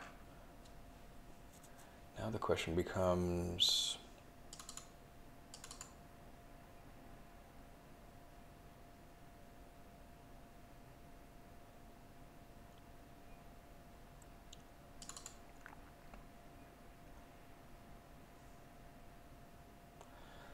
First is getting into this method.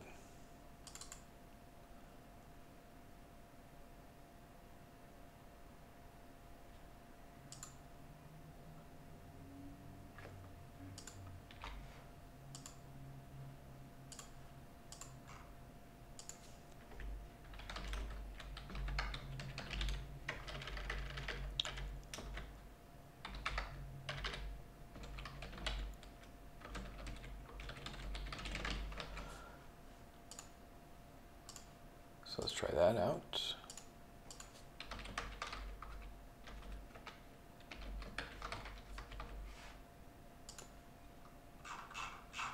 Go to the most recent error. It is getting this excuse me, to this function, body.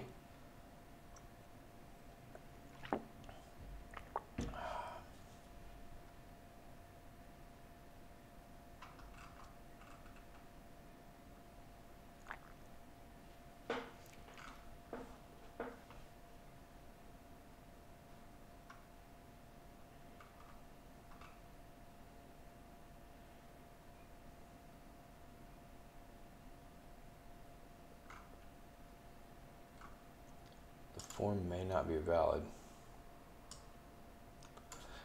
Basically, the function looks the same. Returning a redirect should work inside of this.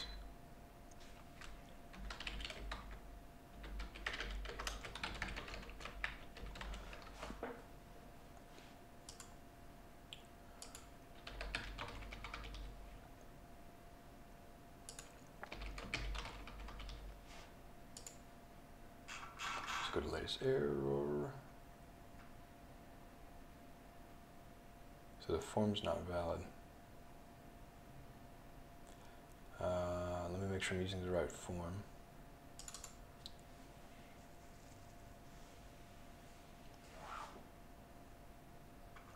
The same form we're passing to the view.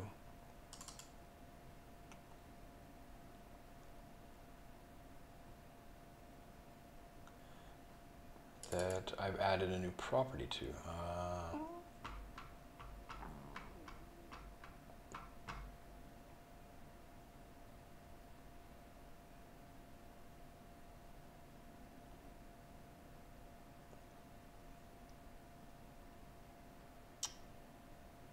We'll just delete that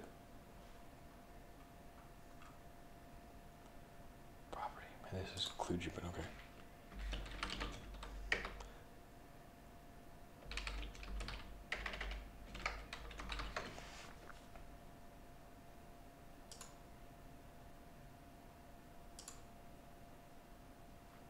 Pop.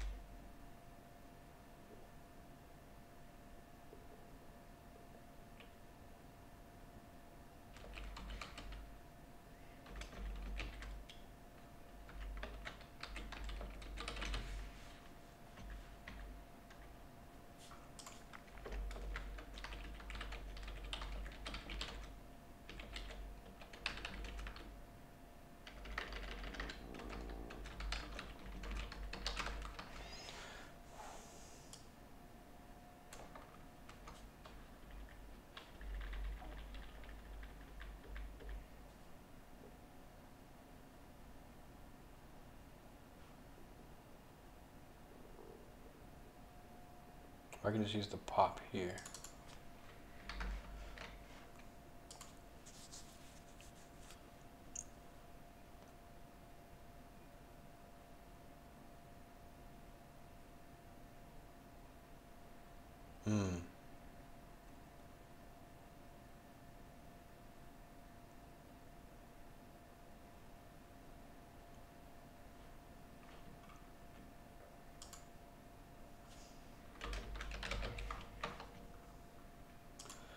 There we go. So we have to basically, this is a really good answer.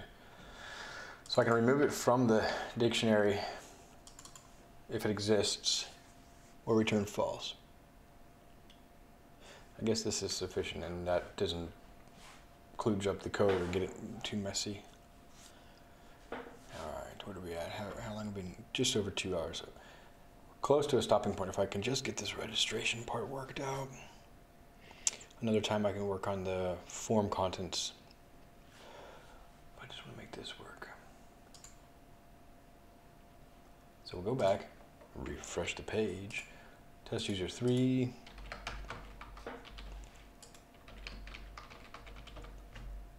And immutable. Oh, query dict is immutable, so you can't pop from that. Well, that makes sense. So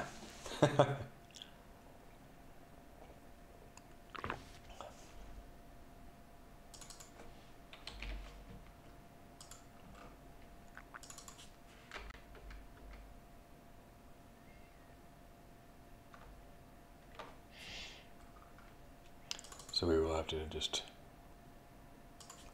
delete it.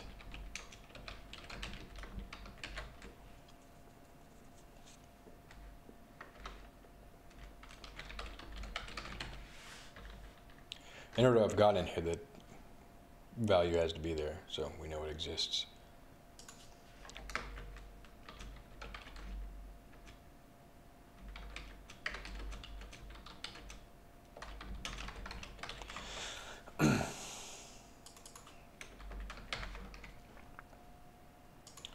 I will refresh. Well, actually, don't know if the refresh was necessary there, but anyway.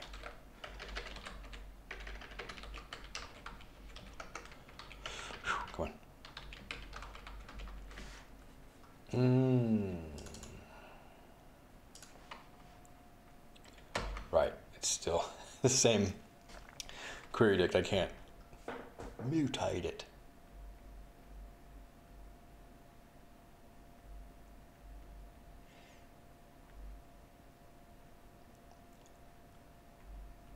Just what's a clean way of doing this? Uh, I know I'll be able to do it. And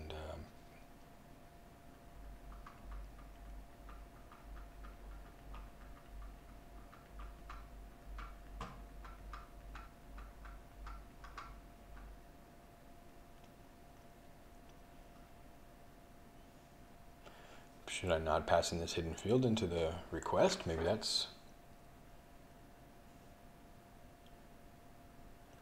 or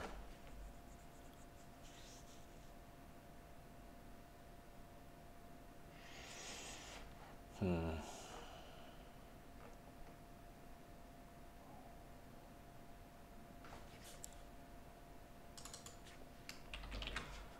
what if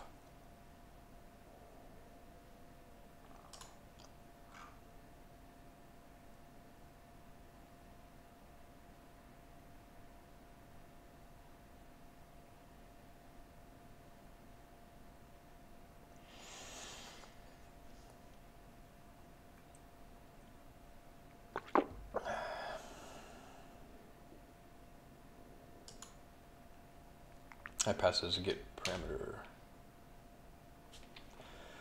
Oh man, I keep forgetting this basic stuff, but uh,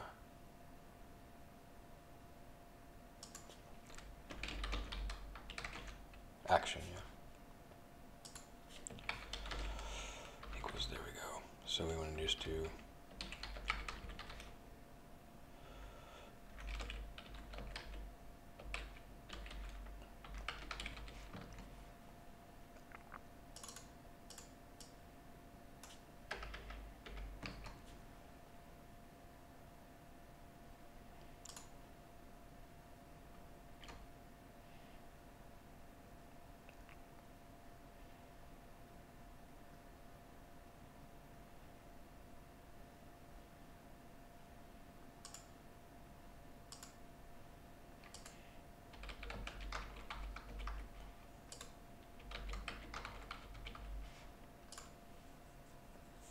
Hmm.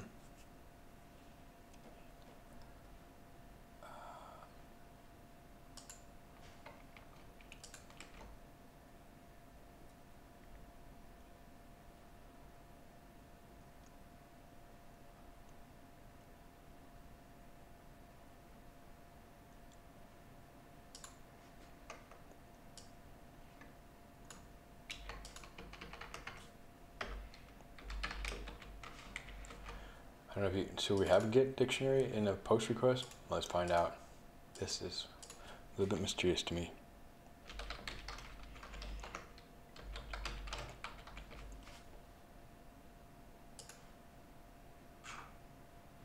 Mhm.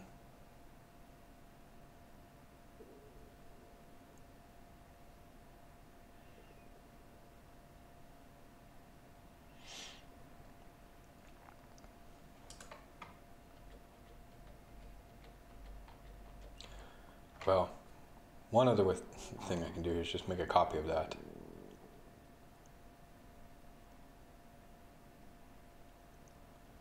Then I can delete it.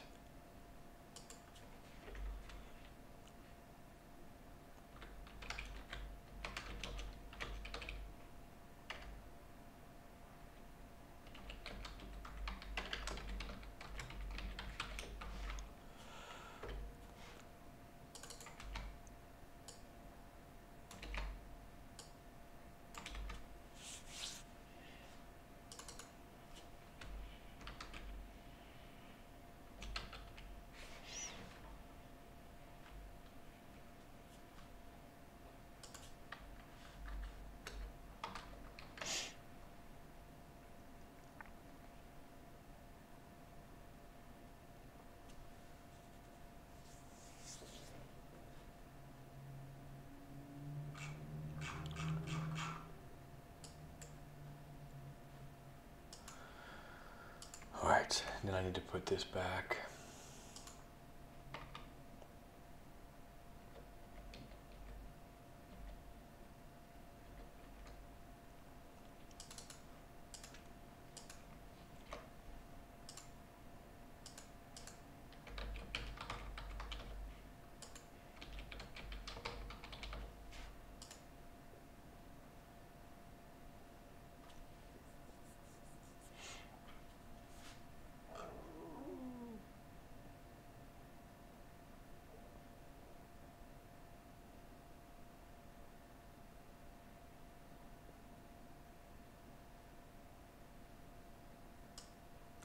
Register is still true though. Huh. Uh, so actually, I don't need this hidden field. If I just pay a little bit more attention.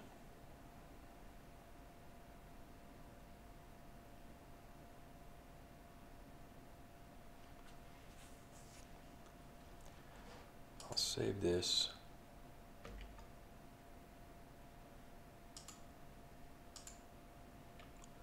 Just let me double check. Yeah, the method is correct.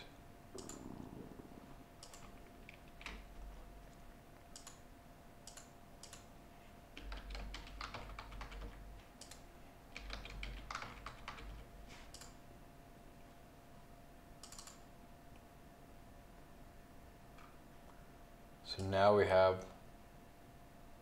just the form data. Internal server error.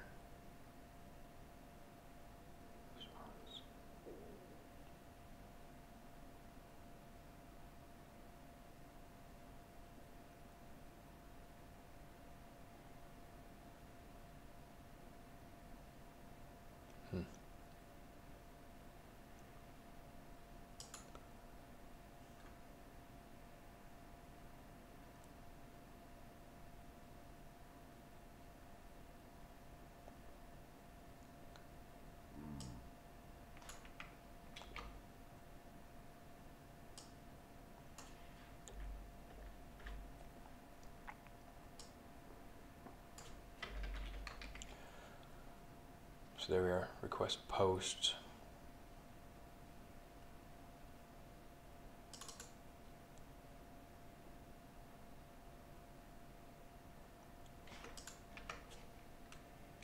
This is where a debugger would come in handy.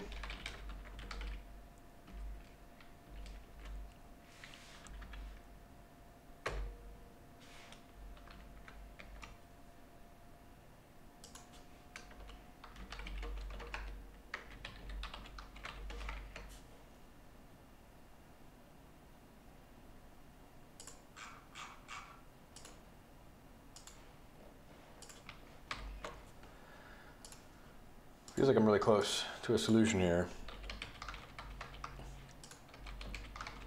Just a little bit of a mystery.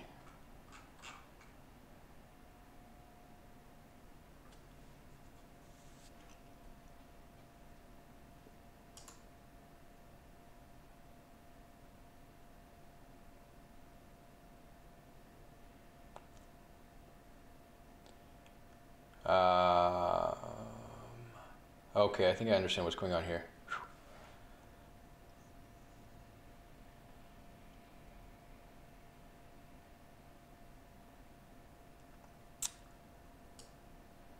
These returns, huh?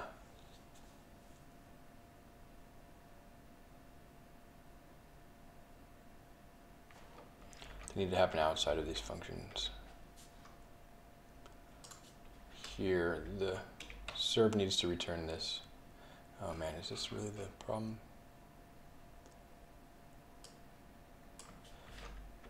Would make sense. But let's find out.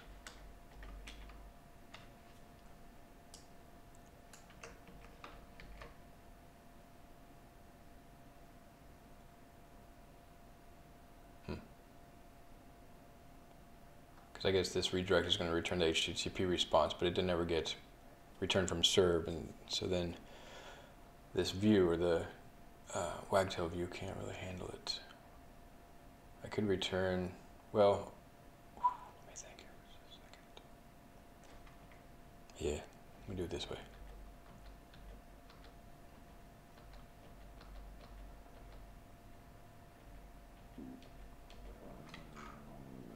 Return these.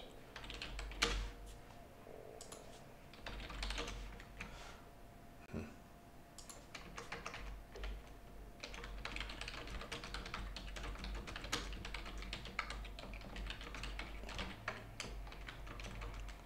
So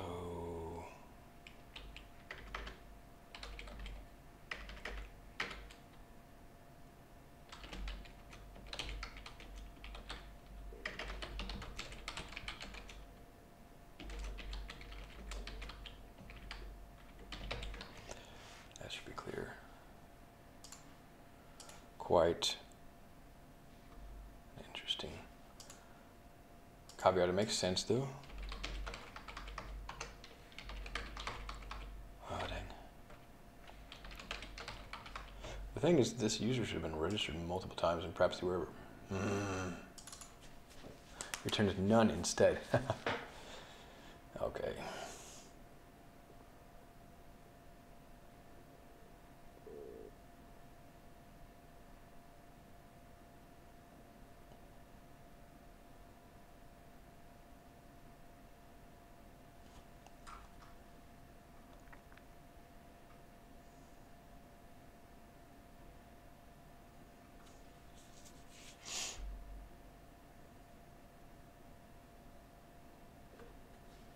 I just wonder this is returning, should be returning the value of the function after being called, but let's try this.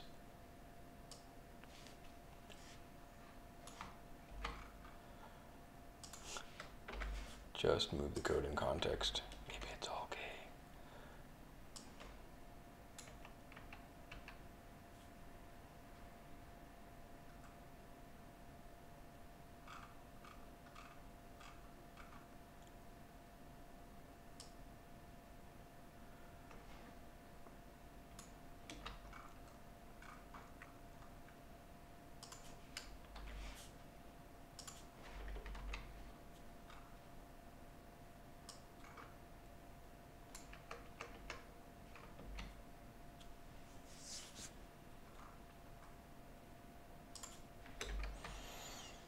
I don't know how this would be different. I just don't have really much more battery left. I'm getting tired. just want to relax for a little bit.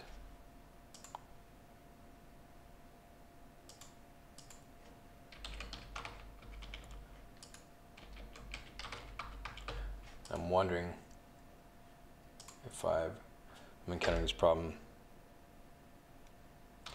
because this user exists now.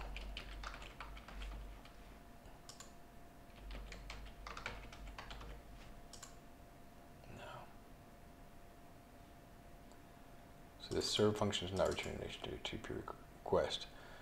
What happens if I go back up here, log in, Brylie, and check uh, our users, wagtail admin Settings, users, uh, we do have test user 3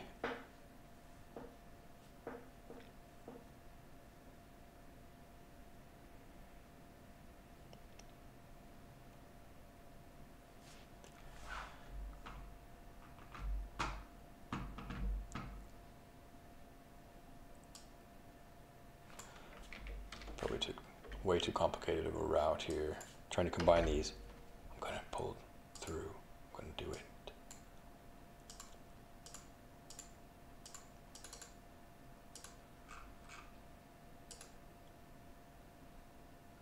So that worked. Well, let's just double check. Yeah, because to the route. Alright. The only other thing I could think is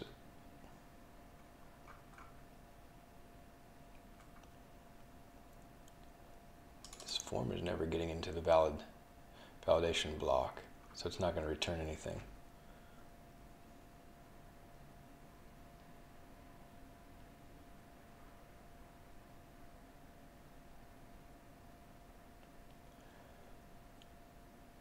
I need to just define the form. Hmm. Yeah. Define the form in the fields. Looks like my screen's glitching out a little bit here. There, see if this fixes it.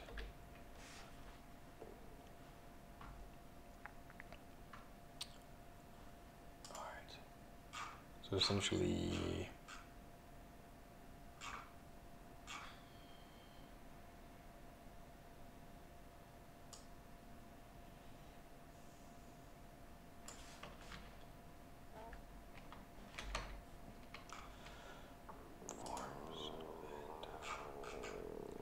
Let's see if I have a history buffer here.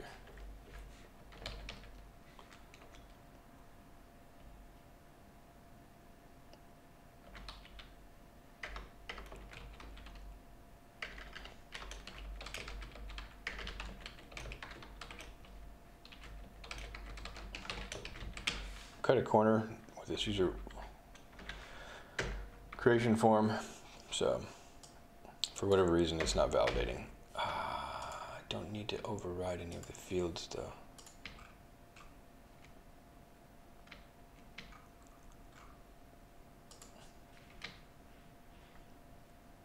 End. Where's my end button? Oh, whatever. There it is.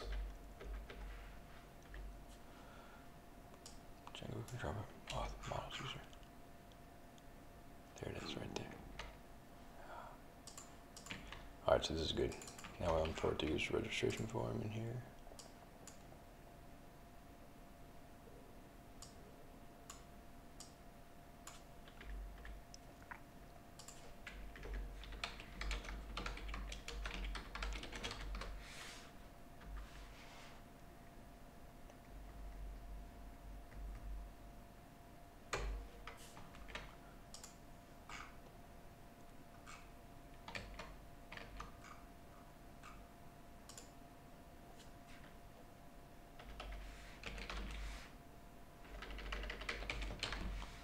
Ah, that's what it register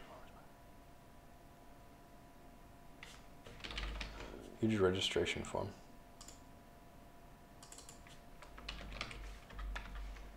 It's definitely working. Let's copy it. Come down to our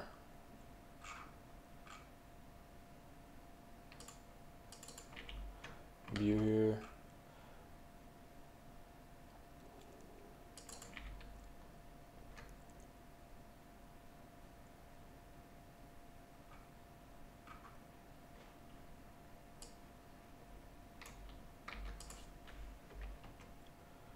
Just return here. Outside of here.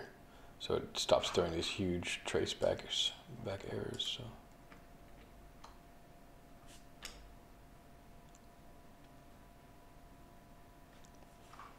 And I need to move this circular reference thing out. This user registration form needs to be imported here. I think is the problem here. Because the registration form is importing uh, the file, the forms file is importing this model.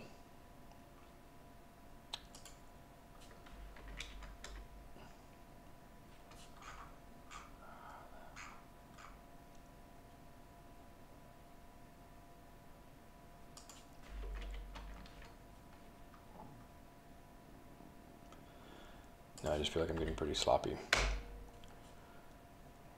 just getting tired. So we got test user three.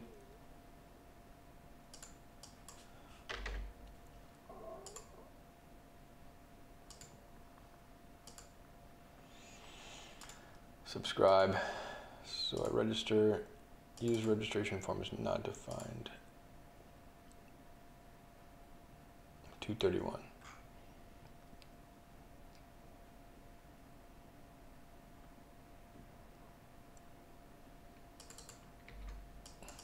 Yeah, definitely getting sloppy.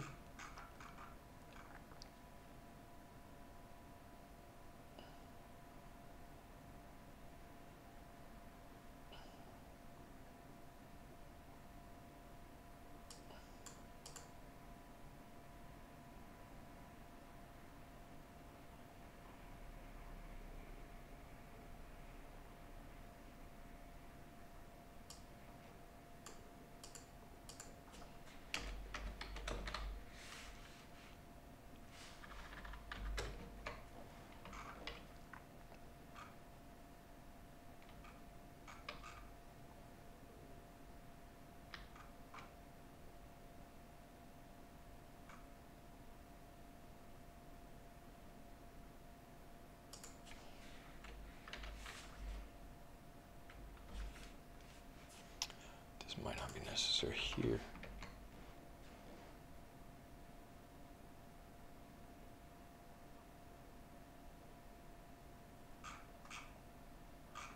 user not in use. I'll just comment out code not in use so I have clarity. And I will clean it up. I'd like to move these back into those methods. Subscription create form. So I do need this import. So if user is registering,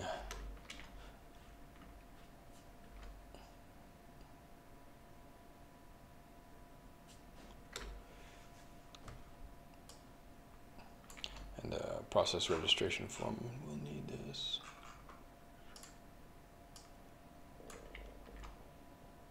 Yeah.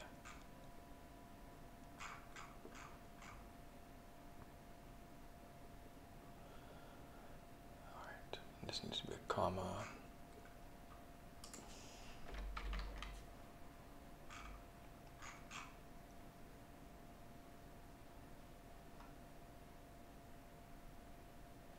Two thirty nine.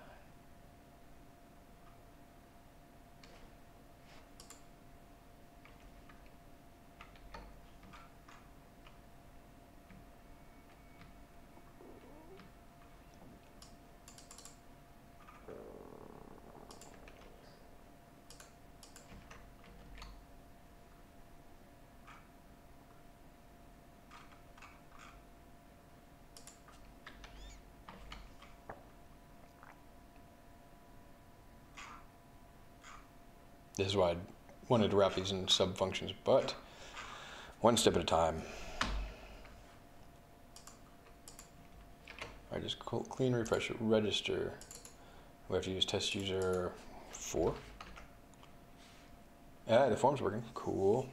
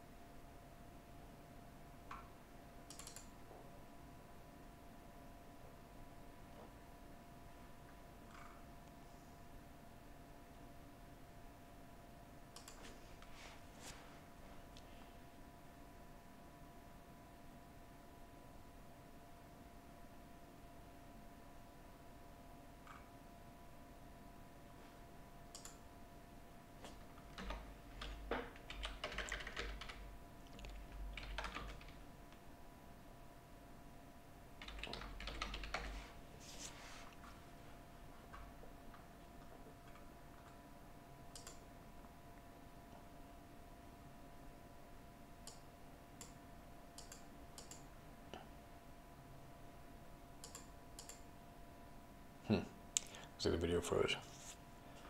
My video camera is getting tired even.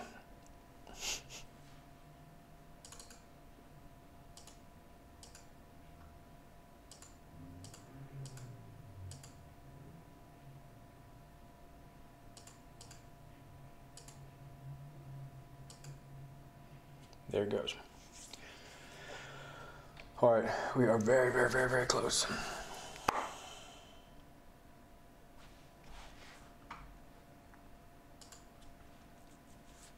Returns an HTTP response redirect to the appropriate URL. And really, this is the same thing here that's redirecting me to the payment processor, so I don't see why. Why it would matter.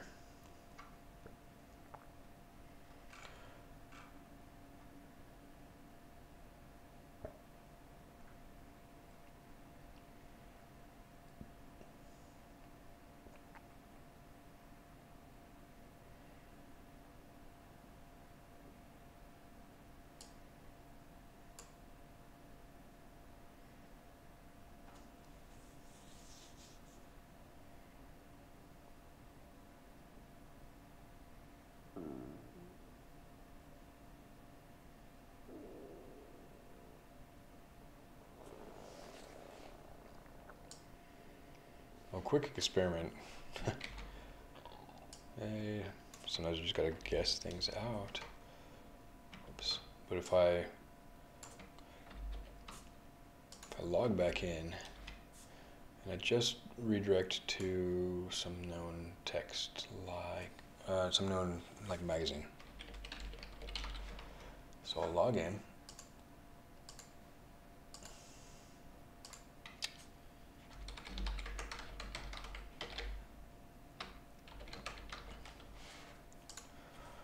Create a subscription instance. These don't matter so much. Yeah, now that works. So this flow certainly works.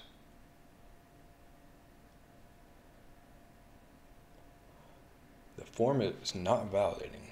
So that's our that's the culprit. I mean, somewhere in that area of code.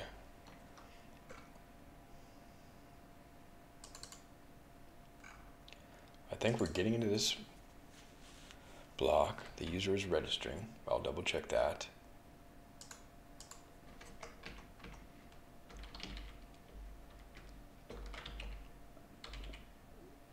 Actually, let's print the value. Just to check it out.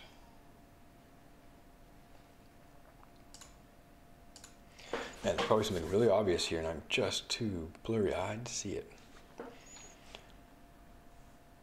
Good grief. All right, so now I'm logged in, so I'm just log out. Now we're seeing the proper form. Test user 5. I should have checked if the user was logged in. I can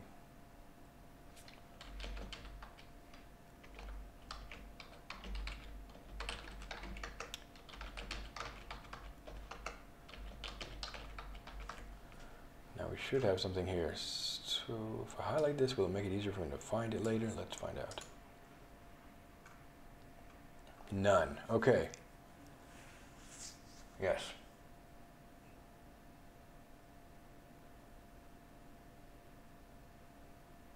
Ah, there's something obvious. So the register is true.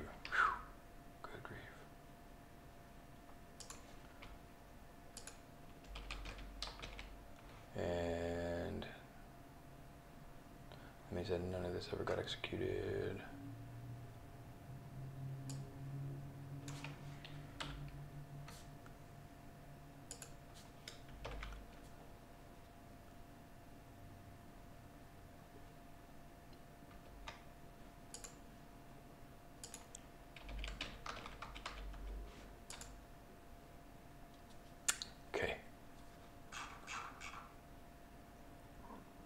That's none. Uh, Git, getting closer. Oh man, because that's where it is. It's in the Git dictionary. Come on, come on.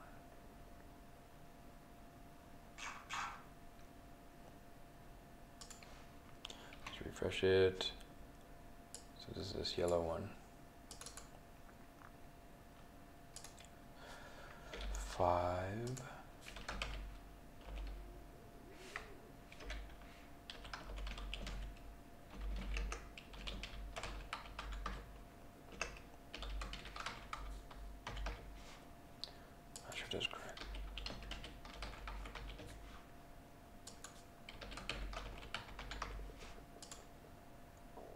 Yeah. Getting through it. Now the meta object, I have to figure that out. That's a strange, strange thing. So the, That's true. The user is. Go away. Thing. Why is that there? Dude. There we go. Thank you. So the form is valid.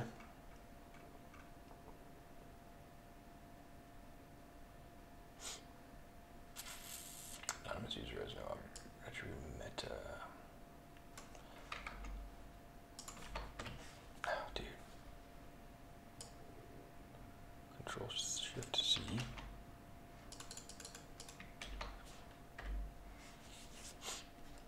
Somebody else has had this problem. Oh man. Django contrib auth authenticate.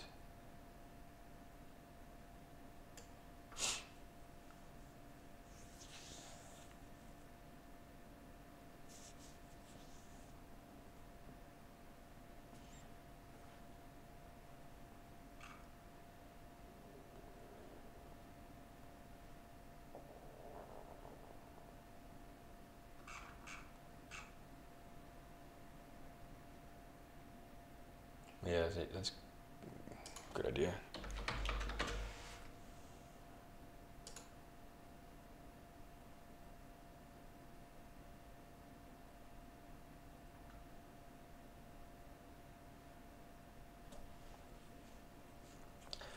Yeah.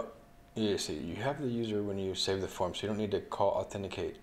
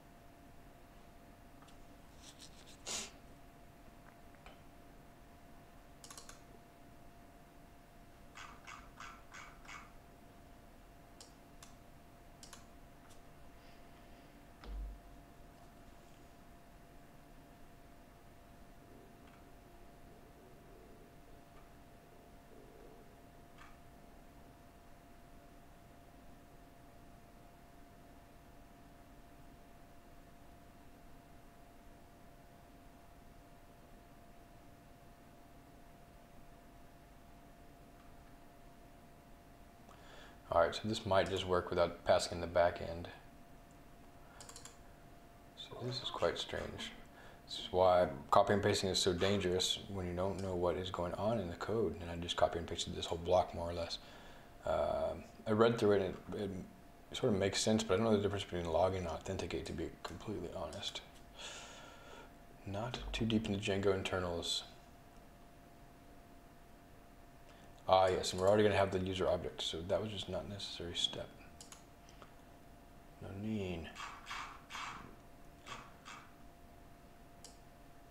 Right, because the form.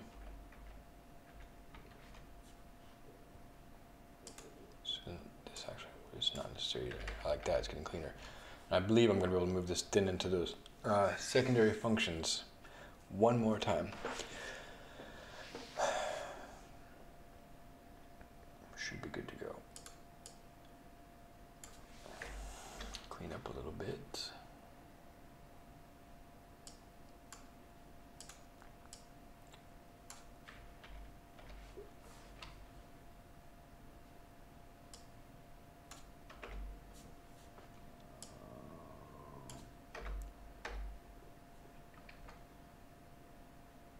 Yeah, this should be good to go.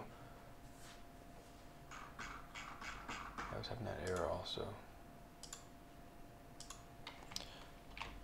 Uh, whatever. Running the server.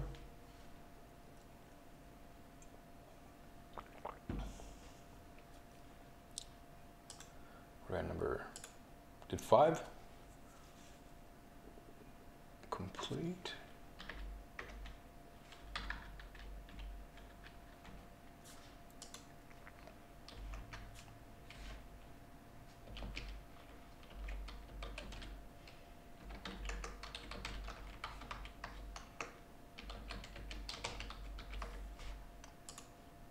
Boom. Oh, Thank you.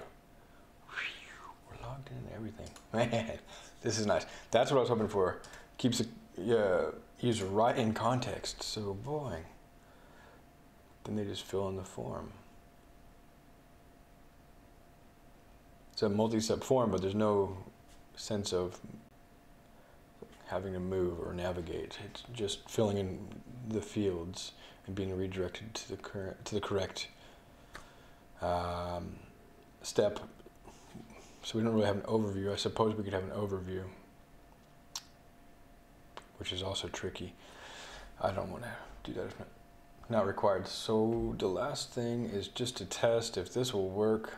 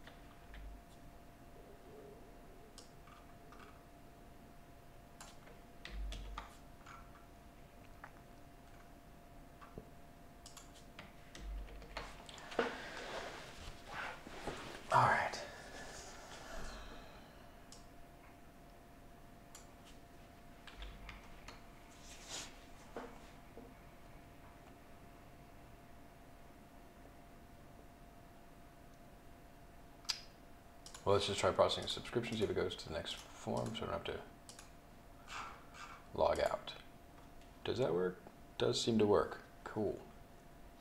Let's just finish it. Alright, it's 411.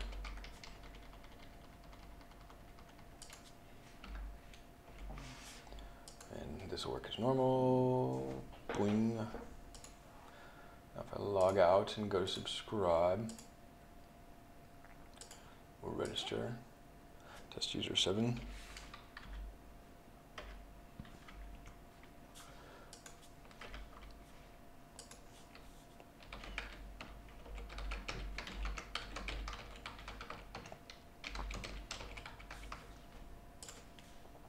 That works. And I think this is now going to work like normal.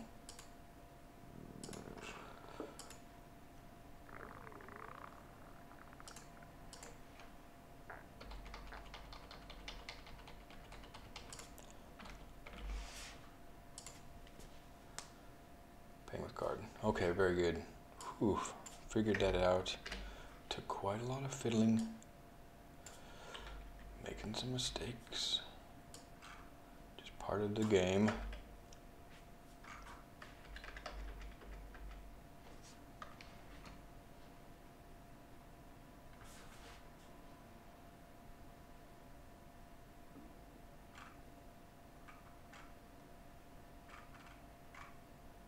And that looks pretty clean. Code's decent.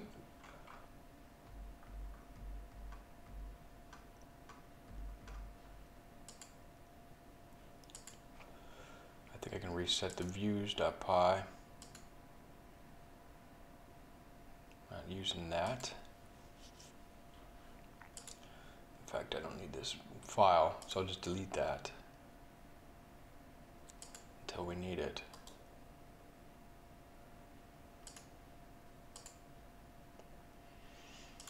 Let's describe our commits and then call it a night. What's this? Two and a half hours? Almost three hours. All right.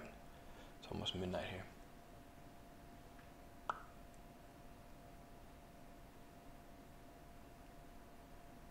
Mm, yeah, rename the files.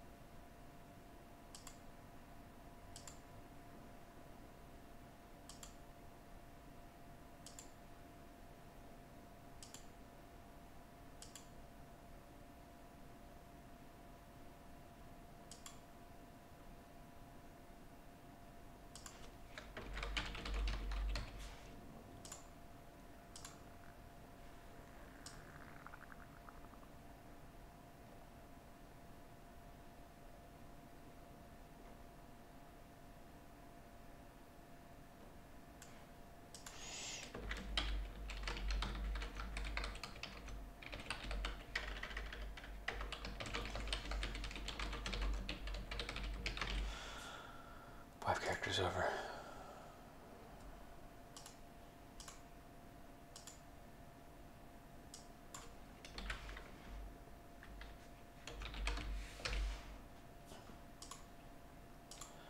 Very cool. Wow.